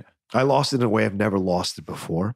You get angry or do you just like No, I just was destroyed. I just was depressed. I would relate it to like the Bible where they tear their clothes. I felt like tearing all my clothes and Uh-huh. just falling to pieces. And I just just seeing this man who was so full of life, who was so he enjoyed the world in his way, you know, and he was yeah, yeah, he had anger, yeah, he had stuff, but he was also very happy when he loved stuff. My dad's laugh was one of, I'm making my dad laugh was one of my favorite things in the world. And so, you know, to see this body now without life in it just destroyed me. And it was my father and I was I was banging against the wall. My sister immediately just spontaneously started just burst into tears. My mom burst into tears. The nurse burst into tears because she had never seen this level of pain, Uh-huh. or so she said. And and I said to her, I said, "You got to let me touch him." And she's like, "Well, that's not." Pr-. I said, "You got to let me in the room. I don't care what you got to do. I'm going to shatter the glass myself, but you got to let me in." And she let me in, and I and I, and I walked over to his body, and I got the best way I can describe it is it felt like primal Mhm. where I went up to his body and I almost became like a like a an, a a gorilla or an, a monkey or a chimpanzee. Like I took his hand and I was putting it on the back of my head. Like I just I didn't want to believe he was gone.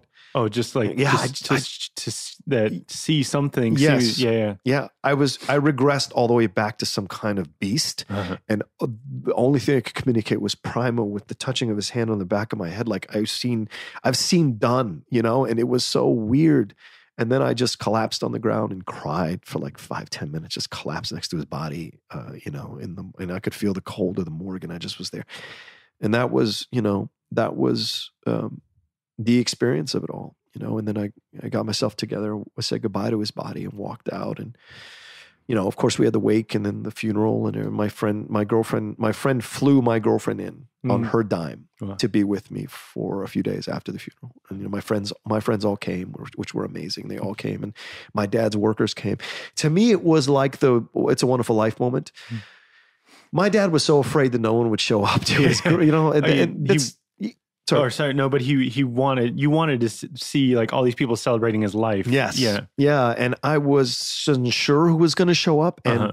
the room was full. Uh huh. And I couldn't believe it because my dad was so afraid that. And, and this is why Memories of Me is a film that I absolutely love the Billy Crystal Alan King movie with JoBeth Williams. If you guys have never seen this movie, near the at the end, he, you know, the things happen and people show up. And he, he's the whole time he's saying he's no one's going to show up, no one's going to show up, and people show up. And Yeah. so when when my father died, like all these people showing up from work, from who had worked with him like decades before, showing up, and because at this time he had become a, a hotel, he worked for the hotels as a, as a head banquet waiter. He'd been around a number of hotels to pay for us, and um, I was so surprised. Like Mm. the whole family showed up from both sides. My, oh my, a lot of my friends, my sister's friends, my brother's friends, the ones that he had, and and um, all my dad's coworkers that had went with him, like most of them showed up, and it was like I couldn't believe it. Yeah, that's a great. That means like he made an impression Yes, on them, like yes. big enough for them to show up. to take- Exactly. yeah. Exactly. And the one thing my dad said to me before he passed, you know, he said, he's like, I know I'm leaving you in good hands Mhm. because you have these amazing friends that I didn't have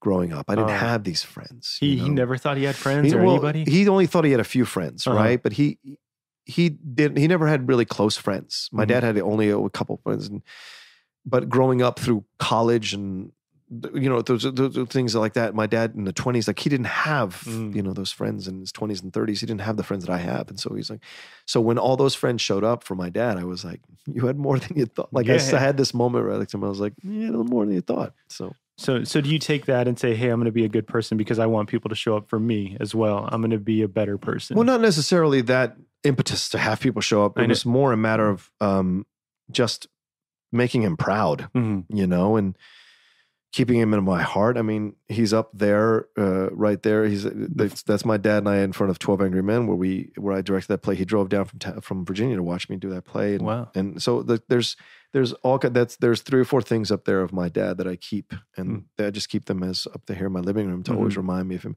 I wear the ring on the schmoedown for the big matches because I want my dad with me in the big matches. Yeah. You know, and so those things mean something to me. And um, I think that's the greatest thing where he just says, Mhm. uh, like, I believe in you, like, go fight, like, fight it. Yeah. Like, fight the big fight. Yeah. Like, stick with it. yeah, and Don't- I'm I'm don't there up. yet, but Uh-huh. but I'm always fighting, man, and Yeah. I'm always pushing and I'm always hustling. And real life is real life, man. Mhm. And so you know, it, it's it's it's a struggle, and um, but.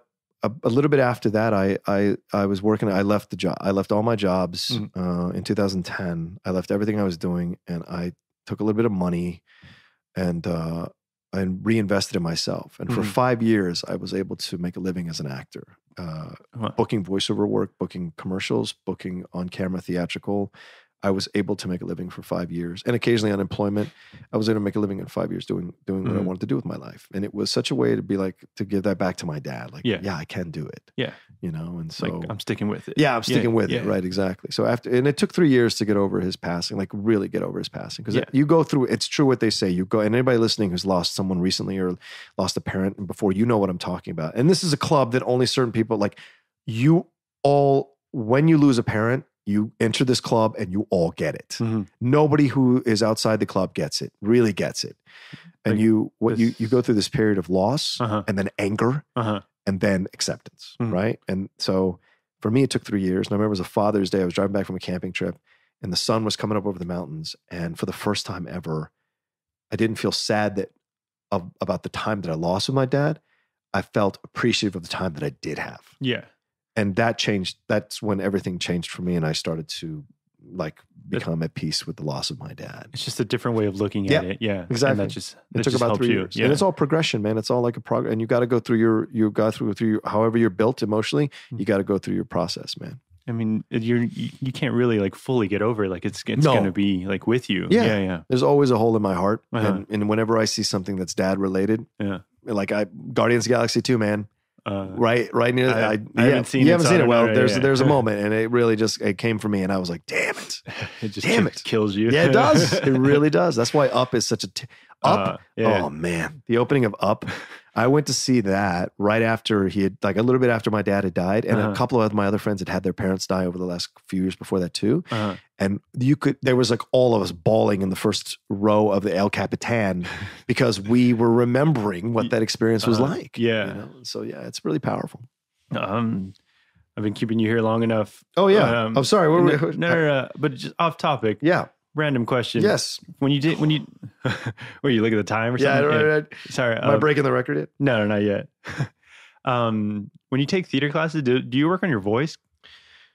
Uh, when I take theater classes, do I work on my voice? What do you Like, like, are you? Is there like classes to like get, build your voice because yes, you have like a great voice? Well, I well, thank you. Yeah. Uh, uh, people have told me that all my life, Uh-huh. and I did. I did the announcements in high school, Uh, and so and I DJ'd it my first first trip through college, and um, no, I mean I just have always had this voice. I've always just had natural Mm. this voice, and I don't get tired. I can talk for like we uh, Mark Ellis and I did that forty hour live stream last year with uh, Nost, Mm. and I talked four days straight. Didn't get a didn't get uh, wow. sore or anything, or Your or voice doesn't leave or No, anything? it Oh, doesn't. It wow. doesn't unless I yell Oh yeah. my voice doesn't go. Yeah. And so um, I just can talk. That's basically what I tell you. And yeah. So that's why I'm kind of exploring Outlaw Nation podcast. It's kind of a, a kind of a, a a run at possibly having my own show Yeah, yeah. on somewhere where I get paid to talk about stuff for three hours, like what you see on on on radio or whatever, or a Yeah. Sirius XM. You know. Yeah. And So, you would like to have your own uh, Sirius Yeah. XM show? Oh, Like I absolutely do. I Oh, absolutely want my own show. I think I'd be great at it, Uh-huh. and I think I'd get great guests, and I think I'd have fantastic conversations and fun stuff to talk about. I, that's kind of become my new goal. Would it be just you, or would it be like you and a group of people? Or I think it it, would be me, and then maybe like what's Howard Stern has with Robin Quivers or Yeah, something. yeah. Like I'd like to have a female voice Yeah. in the in the room to be either a co-host or to be someone who's like like letting me be the a hole, and then who comes in and like you know uh, you educate. Like Emma, Yeah. like Emma and I would have an awesome radio show. Oh, you yeah. know, and we'd have a great because she has a great voice too, and Uh-huh. for doing what she does, and it would be interesting. Um, but yeah, that's kind of the goal now, and doing all the stuff that I'm hosting shows and all. This, it's, it's kind of leading me to where it's going to go, and I'm leading. I'm staying open to all possibilities. You know, So is that the main goal, or are you still working on on acting, or what? well, voiceover acting, yes. Uh-huh. Not so much theatrical or on camera. No. I really don't care that much about it anymore. you don't want your face to be seen or anything. you want to be I don't- famous. Nah, I don't have the ego for that anymore. I really don't. No. Like it's it's cool. I'm I'd be quite happy being a successful voiceover artist Yeah. and no one ever seeing my face. Yeah. Like I don't have the ego about that anymore. Like when I first got here, that was all about that. You Yeah, know? And now I'm just like, if I book something great, if I don't book it great, you know, I'm working at Universal Studios. I got enough to pay my bills. I'm trying to build, establish, establish myself. There's stuff I'm working on myself personally to kind of become a better partner overall for my future wife. And so those are the things that I'm focusing on. And so me being worried about some ego need to be in front of the camera or whatever, it's not my jam. No, no I'm not putting like other people want to do that. I'm not saying Yeah. it's from an ego place for them. Mhm. That's what it feels like for me. Mhm. And so I wouldn't want to, I don't want to do that anymore. Like my Yeah. goal is my voice is clearly what is really good about me and, Uh-huh. And what is what I'm best at. Yeah. And so um So that's you- kind of the Yeah. situation. You're reinvesting in yourself again. Yeah. Yeah. Yeah. Yeah, in a different way. So- yeah. and And, then- Kristian's been great to do that for me, and to Oh, help yeah. me out through this whole process. He's helping everybody out. It's awesome. Like, he's the man. Everyone I come in contact with Yeah. mentions him at least five times. He's a rising tide lifting all the boats. yeah.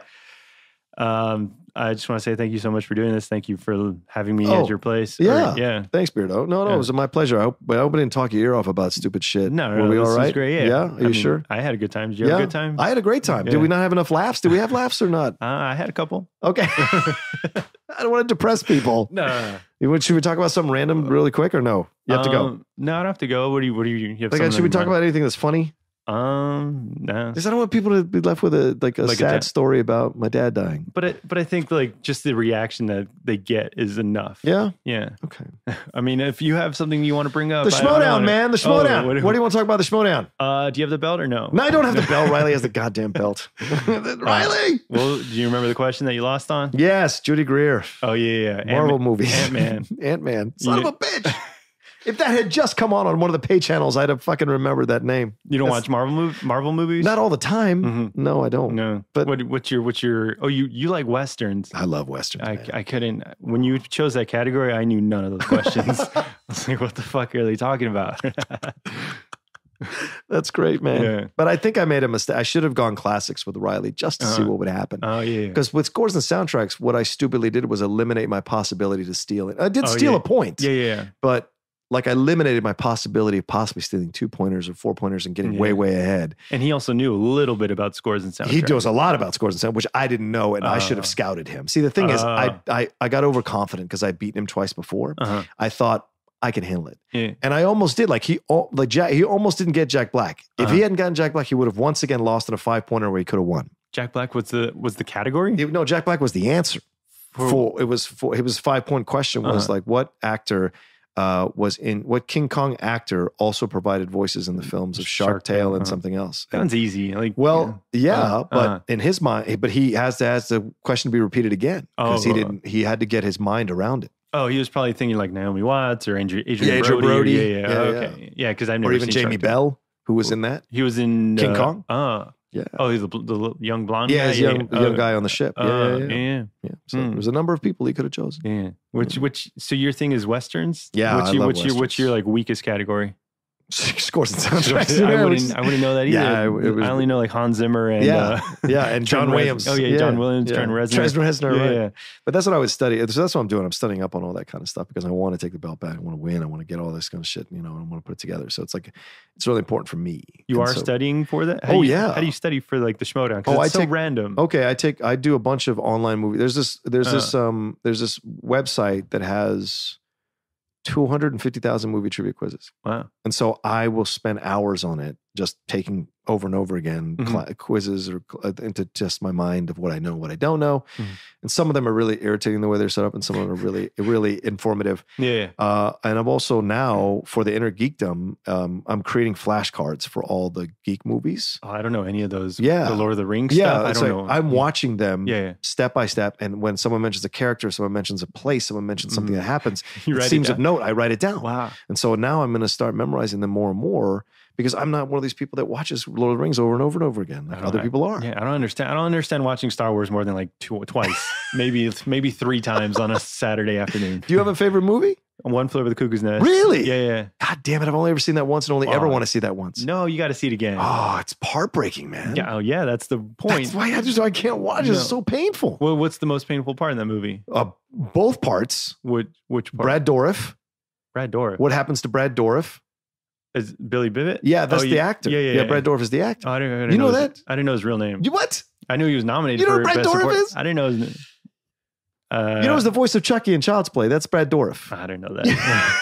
that's the same actor. oh, Oh my no. God, Beardo, what the fuck? No, are you sure about that? Yes, I know it's true. Okay, Yes. I'll, I'll, I'll fact check that. Please Uh, do. yeah, Please yeah. check. Please fact check the former Schmoedown champion. Yes. Uh-huh. Yeah, he's been a Dourif. number of movies. I didn't Yeah. know that. I thought. Did you ever see Deadwood? No. Okay. Is that the HBO show? Yeah. Oh no. He's no. the he's the doctor in Deadwood. Mm. So he's a that- great actor. That, yeah. The, what happened to him, and then what else? What when? Oh, and then when uh, the, very end? ending, yeah. Okay. yeah, the very ending yeah, when yeah. you realize he's not coming back, Yeah, yeah. like he can't come back from that, from Yeah, what yeah. they did to him. Yeah, yeah. That's painful, man. That's that's why it's a great movie. Yeah, You I know. to, like, oh no, it's a great movie. Yeah, yeah. It's just, and I like Milos Forman, but I Yeah. prefer Amadeus o- of Oh. his stuff. I haven't seen that one. Oh my Yeah. god, I'm I- going insane. I, I have a I have a Schmoedown question for you. Oh shit! I, I just saw some like it hot. yes. Have you seen that? Yes. What's the blood type of the main characters? Oh Jesus. Uh, AB. nah. I said O. Oh, Yeah. they mention it all the time. They're Oh, like, oh, they we're, really? type, we're the same blood type, type O. oh, you might you might have just won me a schmoedown in the future. Yeah, yeah. You might have just won me a schmoedown. That was a great movie. I just watched it like two days ago. It's so funny. Yeah, yeah. That ending is great. The Nobody's perfect. yeah, yeah. That's, Just a great line. yeah. That's this classic line. Like Jack Lemmon's hilarious. He was like Jim Carrey back then. Yes, he It was, was- Uh, I loved it. very funny back then. Who directed it? Wait, Who directed? Wilder, Billy Wilder. Yeah, yeah. yeah. And what So year did it come out? Oh Jesus! I want to say 1956 or 1961. 1959. No, I was in the ballpark. yeah, yeah. I was in the ballpark. See? Yeah, black That- and white. And what what was the uh one more from that movie? I just sure. like now because of the Schmoedown, I pick up on like little things because they they they pick up like the minutia of things Yeah, yeah, in a movie like Bespin. Yes. Oh Jesus. Yeah. Um, what oil company did he say he worked for? Oh Jesus. I don't even know. I don't Uh, remember. What was- Shell, Shell, Shell? Oil. Oh, okay. Just to uh, impress, like Tony Curtis. Yeah, Yeah. To impress Marilyn Monroe. He's like, "Oh, Shell Oil Company." He brings out a shell from the beach. Yeah. the little things you pick up after That movie's so good. We're It- probably going to cover it on the Cinephiles at some point. Oh yeah, you also have the Cinephiles too. Yeah, yeah. What do you, what is that? Uh, You cover like classic movies and you rewatch them. And, Yeah. uh, Yeah, we cover classic movies, and Steve and I like break down the movie when we go like step by step through the movie Mm-hmm. and talk about like the production history, talk about its legacy, talk about like what was going on at the time, like stories from the set. Because Mm. we'll watch the doc, we'll watch the behind the scenes stuff and like talk about some of that and how it affected the film, how the film was Oh. shot or made, or Uh-huh. what happened to the actors while they were doing it, those kinds of things. So then, then we talk about and then we analyze the film as we're Uh. talking about it too. You know, so but is this films like you've never seen before? no, no, no films? Films- that, these are classics. You're revisiting them. Yes, we're Oh, okay. revisiting them and talking about them. But yeah. you've also never seen a lot of classics What me? Yeah. Where'd you get that bullshit from? because I saw that Miss Movies tweeted something and you said you've never seen. Oh, M- Sound of Music. no, no, you've never seen Rear Window. Oh, Rear Window. Yeah, and not a lot. I only tweeted three that I didn't seen, which is Sound of Music, Rear Window, and what was the uh, other one? There was something I, else I, I, hadn't ju- seen. I just can't believe you haven't seen Rear Window. I know, I know. It's, It's a like whole classic Hitchcock. That's my favorite Hitchcock movie. I'm, going to fill that hole this week. Okay, Yeah, yeah. yeah, yeah. That's a great one. I, I know it's a really, really good one. And I love Hitchcock. Yeah, You yeah. know, My ex girlfriend I lived with for a few years. She's a massive Hitchcock fan. So we, Uh-huh. we went to go see them in the theaters here when they were Uh-huh. showing them in LA. Uh-huh. We saw Dial M for Murder in 3D. Oh, Yeah, we saw. 3D. Yeah, they, Yeah. it was originally shot in 3D. oh, I didn't know Yeah, that. you got to see it that way. Oh, It's, it's an awesome way to see the film. It totally works too. It's not. It's not for gags It's either. not gimmicky 3D. No, Oh, not at yeah, all. yeah, It's legitimate 3D and, um, uh, you know, Psycho and Mm. uh, number all this stuff. Uh, and I own 39 Steps, which is one of my favorite. That's Hitchcock. I don't know that one. Oh, okay. Yeah, Get on that shit. I'll get on that. I want to see Rope. That's my next movie. Oh, I yeah. want to see that. Yeah, Yeah, Because yeah. I know like they shot like ten takes or Yep. whatever, or it's all shot in ten takes. Yep. Miss Um, Movies loves that film. Yeah, Rope. I gotta see that. But if you talk about the cinephiles, there's a lot of behind the scenes about Marilyn Monroe on uh, Some Like It Hot. Right. We'll probably do that. Yeah. Yeah. We'll probably talk about her. and So we like to do a biography on one of the people involved in the production of the film. So it's Uh, usually the director or one of the main actors. Oh yeah. So we'll talk about them, how they got it, and then we'll talk about how the film got made and stuff Mhm. like that. So it's really fun. It's a great show. I love doing it. Have you talked about Apocalypse Now? Yes, that's two and a half hours. The the podcast. The is? podcast Wow. is, So yeah. did you watch Hearts of Darkness? Yeah, I love Oh, Hearts of Darkness. oh, yeah, Darkness. yeah, it's what an awesome documentary. Yeah, yeah. Did you see the parody documentary on that? No. On Tropic Thunder? Wait, what do you mean? Like there's there's like a behind the scenes tro- or like a, Beardo. what's that? You've got to get the Tropic Thunder DVD Uh-huh. or Blu-ray rather, Uh-huh. and they have a 30-minute parody documentary of Hearts of Darkness Uh-huh. following how Robert Downey Jr., the character, became Osiris. and it's so brilliant. And uh, Justin Theroux, he plays this like um, German uh, filmmaker yeah. who's doing the documentary about the making of Tropic Thunder. Uh-huh. uh, or, tr- or the making of the film that they're doing with uh, what's his face and Ben Stiller, Steve Coogan and Ben Stiller, Yeah. and he follows them around. And he f- like one of the great sequences is that um, Robert Downey Jr. as Osiris kidnaps Osiris's original family and brings them to his house Uh-huh. And has them like go through scenes and pretends to be their dad and As her if- husband. it's madness, dude. Just like Hearts. And there's a whole moments with it, like with Coogan where he's thinking like the he's going to die of a heart attack. It's like all this. Oh, so there's like Francis Ford yeah, yeah, yeah. So it's all, it's, and it's 30 minutes and it's fucking brilliant. Ah, I gotta see that. Brilliant. You'll lose your mind laughing your ass off at it. I'm telling you. I gotta see that. I'm telling you. Yeah. it's good stuff. What's your favorite movie? Did you say your favorite movie? Citizen movie? King. Citizen Really? Yeah. Is that your Really favorite, is. or is that like, really is? Yeah, yeah. Yeah. or is that like the quintessential? No. Like everyone says, Citizen Nope. Kane's their favorite movie. Citizen Kane was my favorite before I even knew it could be your favorite movie. yeah. Yeah. Like I discovered it when I was 16 years old in high school. Oh, okay. Because whenever I was homesick from high school, I would rent movies. Yeah. I would go to the video world and rent movies. Like I had my mom rent movies in the morning, drop them off while she was going away to work. Yeah. So I would sit all day watching movies. Citizen Kane changed my life. Citizen Kane is when I first understood that I could like talk about movies. Like- blew my fucking mind. I saw it three times Really? in one day because I was like, this is, I just would rewind it and Uh-huh. start it again. But And- what what about it like blew your mind? I think everything about the nonlinear storytelling, everything about the idea that it's not a straight up film, like where he's like, okay, the you know, boy falls in love, boy loses girl, boy gets girl back, blah blah blah. Mm. And, and there's a villain, there's an, a, a a protagonist, and the protagonist gets no. This was all told out of sequence, and it's all recollection. Mhm. None of it is a through line. Mhm. It's all recollection, and so it it showed to me like you could tell a movie where you don't know who's telling the truth and that everybody has a different perspective on this person's life because this person never gets to get interviewed about his own life. Ah, And so people, the whole film is people from the opening newsreel to the guys at the end before they throw the thing into the fire that I don't want to ruin for anyone who hasn't seen it. yeah. yeah. Yeah, I mean, it's a 50 year old, 60 year old film, Yeah. but like who hasn't seen it? A 70 year old film, really. But Yeah. like, uh, is all them talking about him, but he never gets to tell you his story. Ah. His story is seen through everyone else's eyes. So what's the truth? Though that's the whole point that there is no truth. That there is it. no truth. That Yeah, yeah. no matter how we live our lives, no matter what we think, we're never going to be the author of our own world because everyone else has an opinion and they Mhm. see it through their own prism, through their own experiences, through their own shit. Mhm. They see your actions, decipher your actions as they see it and not as you may have intended it. Mhm. And so your life in the end, no matter what you do, is going to be told by other people through their perceptions Yeah. and not your own. It's based on other people or based on other Yeah, people's perceptions. Exactly. Yeah. And it's also the amazing study of a man falling, a great man falling apart Mhm. because of a fateful decision by his mom when he's 10 years old To give him away. to give him away. yeah. And if his mom hadn't given him away, he might have been all right. He might not have made all that money. He might not have been like a higher end education, Yeah. Yeah. but he'd have been all right. Yeah. And the thing is, this is great. There's a great line in the movie Great Exchange when he says, where uh, his benefactor says to him, Don't you think you did? Don't you think you were a great man? And he says to him in this moment of clarity, he says, I did all right under the circumstances. Uh-huh. And that's what he says. So he, he even knows yeah. Yeah. that he is not real. Like his, who he is, is not real. And He- that's even retold by him, by Thatcher.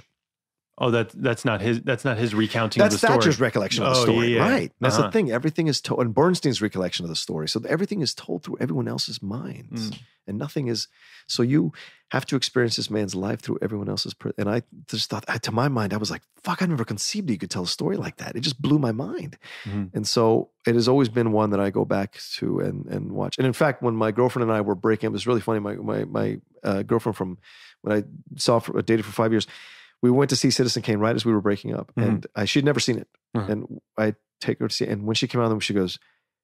I understand you better than I've ever understood you before.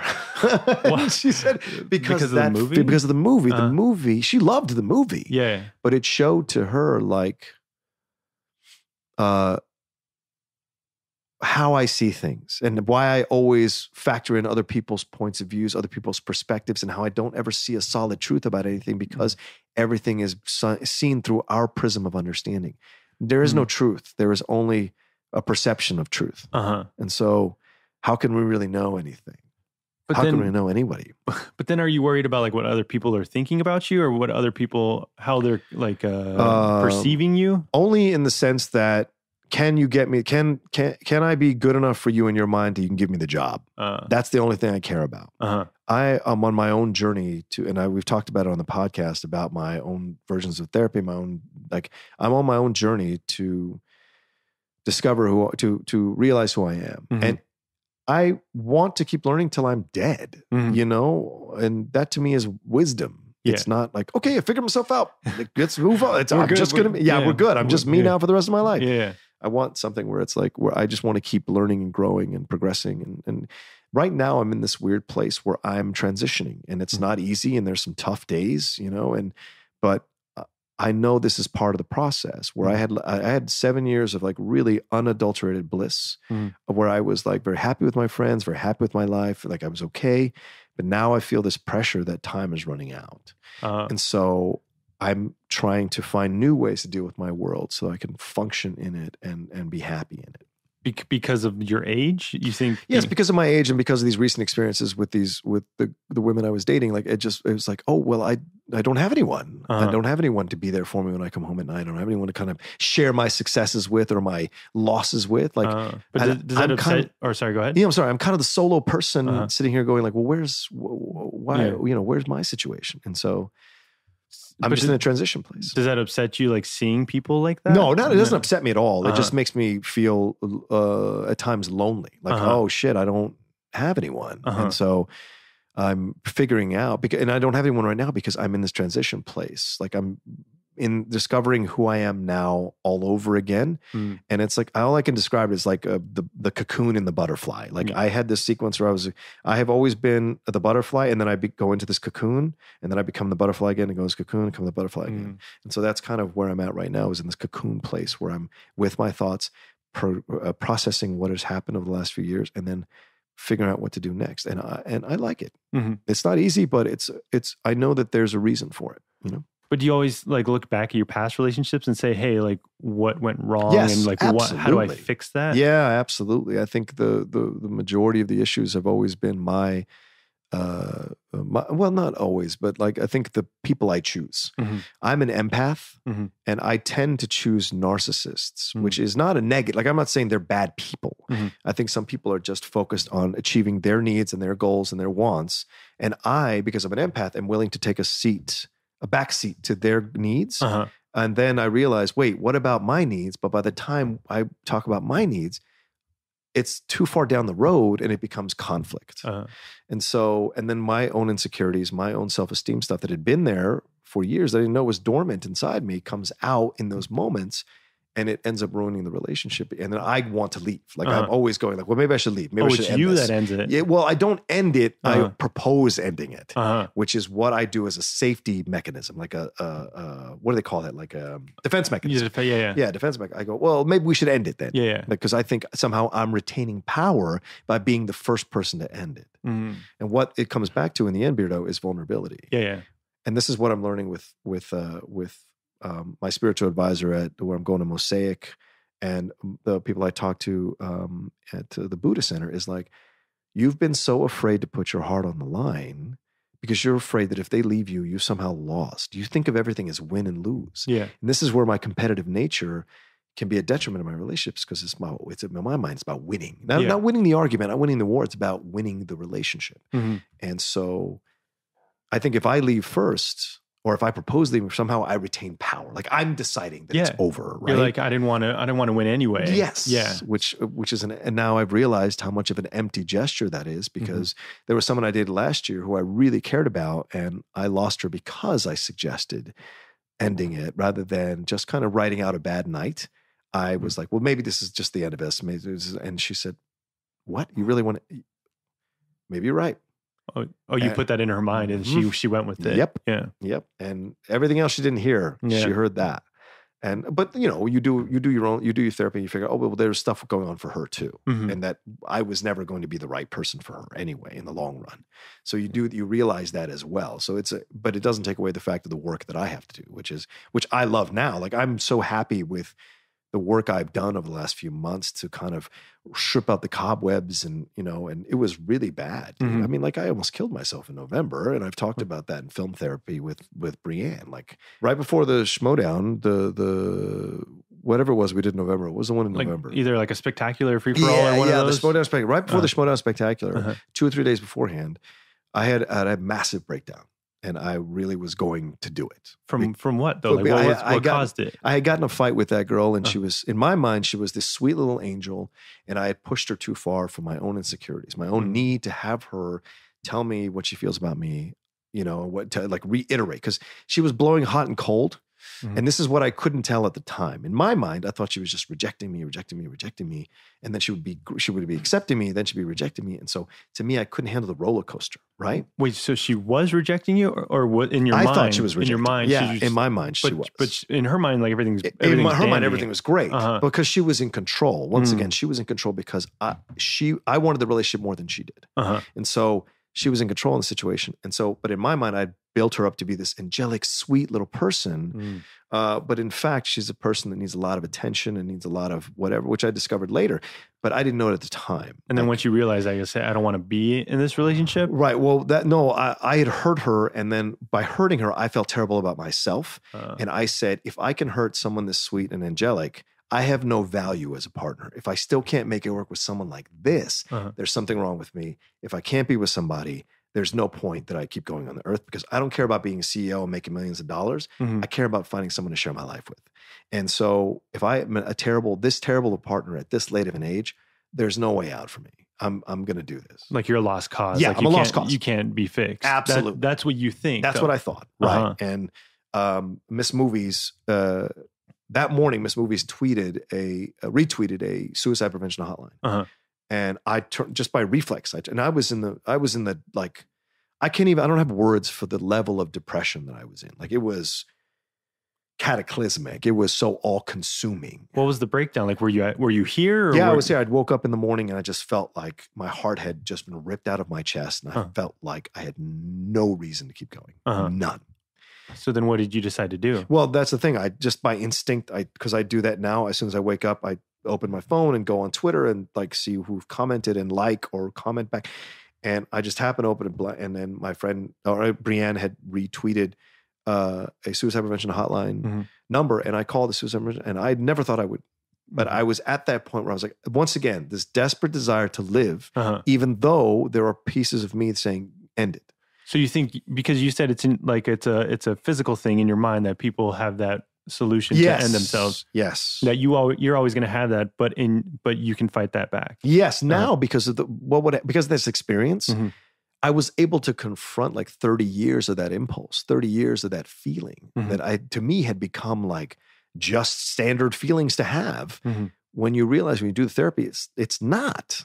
And so it's not a standard thing that people want to kill themselves as options. Yeah. Right. And so for me, it was so realistic to me because it felt so, it had been my partner for so long. Uh-huh. And I kind of liken it to Legion. If you've seen Legion, the show, that demon that is with him since birth, that is Mm. what that is. Yeah, yeah. It becomes such a part of you that you ignore it when it's convenient. And when it comes for you, you can give into it. Mhm. And so when it came for me, it was really, and so me calling that hotline was one of the, was my way of fighting.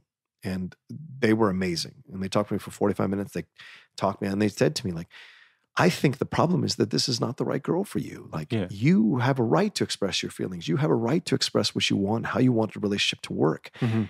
And if she's not going to give that to you, then you need to get out of that relationship. And I think Yeah. your instinct to get out of that relationship and to suggest getting out of it is the right instinct because that girl isn't the right girl for you. Yeah, like you you, were know right. it. You were you were Yeah, right. In yeah. the end, I was right. Yeah. Mm-hmm. But that oh, that hit whatever hit. And so for the next two to three, while I was doing the therapy, even while I was doing therapy, brother, every morning I woke up at 5 a.m. was a negotiation to not kill myself. Really? Every morning for months. Every day you have to deal Every with that. day. How how close like are you to like were you to doing it? Very, very close. There were mornings where I was very, very close. I remember one morning I had to meditate for three hours to Mhm. stop myself from doing it. Three hours. I would be, I would cry Uh-huh. I, endlessly. I would cry. I would feel like, how am I ever going to climb out of this? Yeah. I've never felt it to this level. And I think what had happened was it just it just opened what had been, like I said, what had been sitting there for so long, Mhm. and it all came out, and it was so overwhelming that I didn't know how to handle it. Uh-huh. And um, thank God my friend stepped up with the two therapists because Yeah. she's like, I don't want you to leave this earth. I want to do whatever I can on my dime because she runs a mental health facility.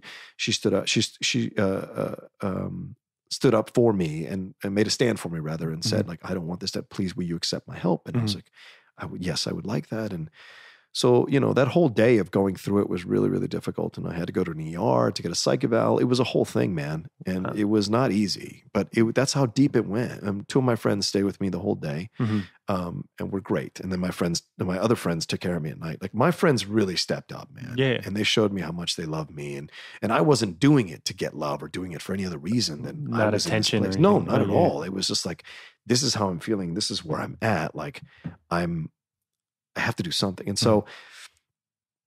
While I could see the therapist, there were I, for the other six days I had to function, and so my friend uh, Mark he suggested this uh, uh, podcast called the Meditation Podcast, and so this couple does med- guided meditations, and those meditations saved my like really saved my life. Really? because when it was bad, I would put those on.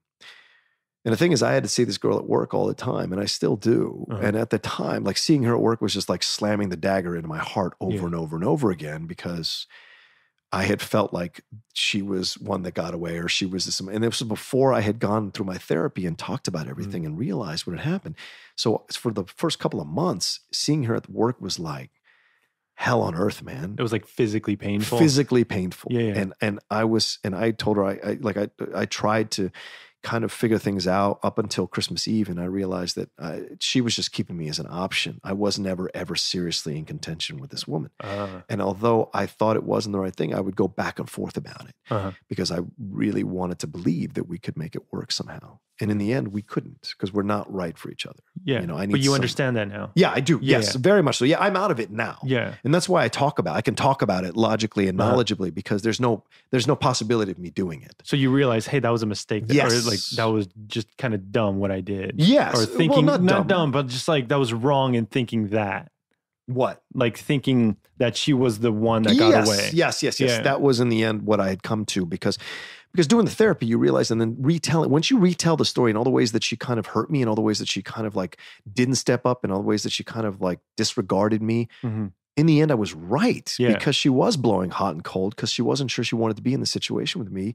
And she didn't have the guts to step up and say, you know what, this is wrong. She made it seem as if she wasn't the right person for me. She would be like, you know, you're right. You're, uh, maybe I'm not the right person for you. So she made it seem as if like, you know, she was doing something benevolent Yeah, when yeah. in fact she had been selfish. Yeah. And so, and didn't want to own up to being selfish because she doesn't like to see herself in a bad light. Mm. And she does things to make herself feel like, like she's some kind of perfect thing. And Yeah. so that's her, that's her life. That's her business. But I had put on her expectations of a person that she wasn't. Mm. And that was what I was paying for is the expectations I had created in my mind.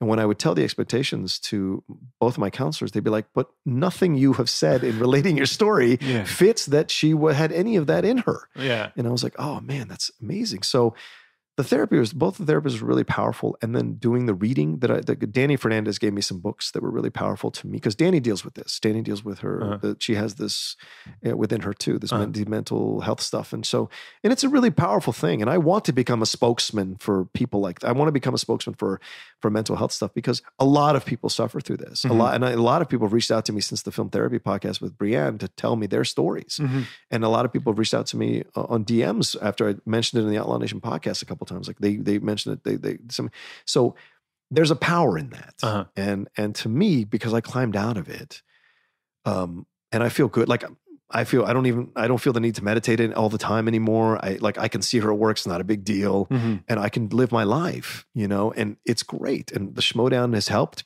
Being the outlaw, the character has been a nice release for me, Yeah. you know, and doing these, doing podcasts like this, like it's just great to talk about it because I'm out of it, Yeah. you know, and I don't have the impulse to do it anymore. I don't have the desire to do it anymore. I think she was a blessing in disguise Mhm. that she exposed this stuff that had been within me for a long time and that I needed to confront in order to become a better partner, a better life partner for the woman that I'm going to marry or the person I'm going to be with. Yeah. You know, and so it's almost a it's almost a God's like people say things happen for a reason. I think she happened for a reason at the right time mm-hmm. because I was finally ready to listen to it Yeah. you know, because I think some of these patterns corroded the five year relationship I had as well.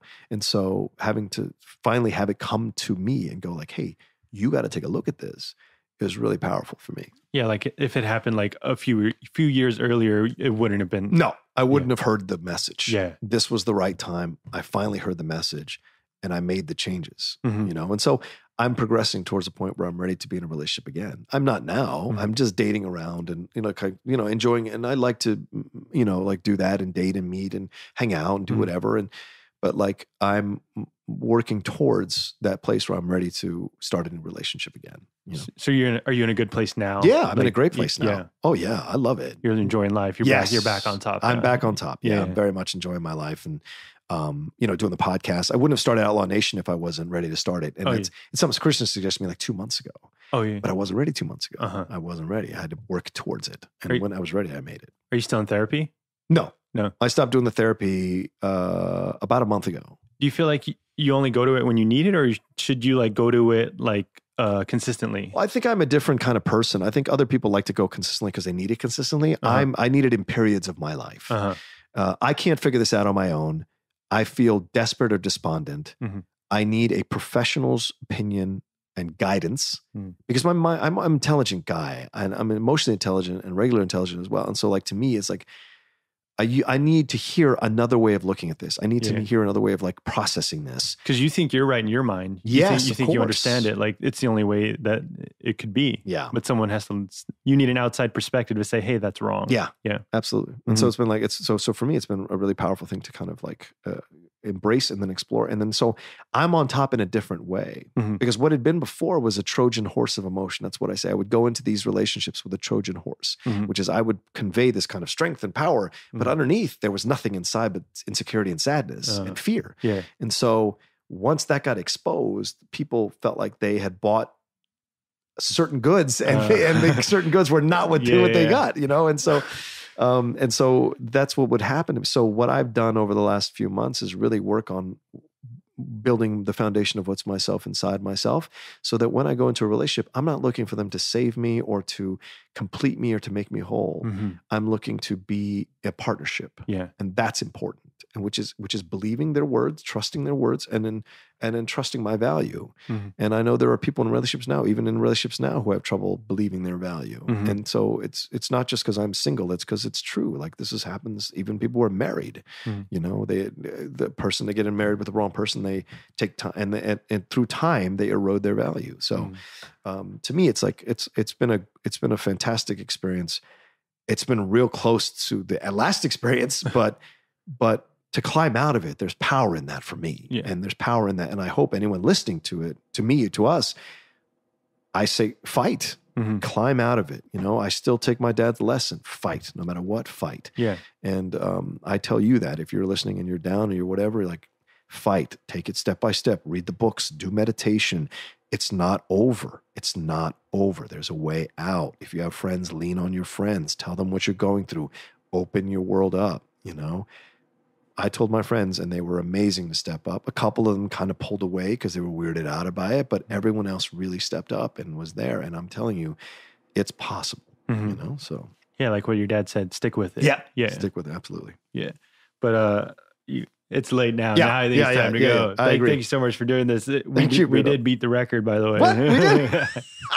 of course, you have to be the one to beat the record. Yeah, screw you, Sheridan. but uh, uh, thank you for doing this. And uh, what's your what's your Twitter and your oh yeah, Instagram? Thank you, Beardo. Uh, yeah, you guys can find me at the Rocha says R O C H A on Twitter and on Instagram, and then uh, you, uh, of course, the Cinephiles, Cine Dash Files on uh, iTunes, Stitcher, and YouTube.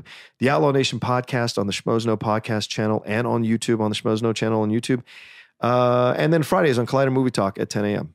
And uh, thanks, guys, for everything uh, I talked about. Thank you, Yeah. Beardo, for having me on, man. Thank you so much for doing this. Yeah. I hope you had a good time. I had a great time. and uh, I'm at Schmoes Beardo, and you can find also you're on the Schmoedown. Oh, the Schmoedown. Yeah. Yes. But um, thank It's you. the Outlaw. That's it. Let's get out of here.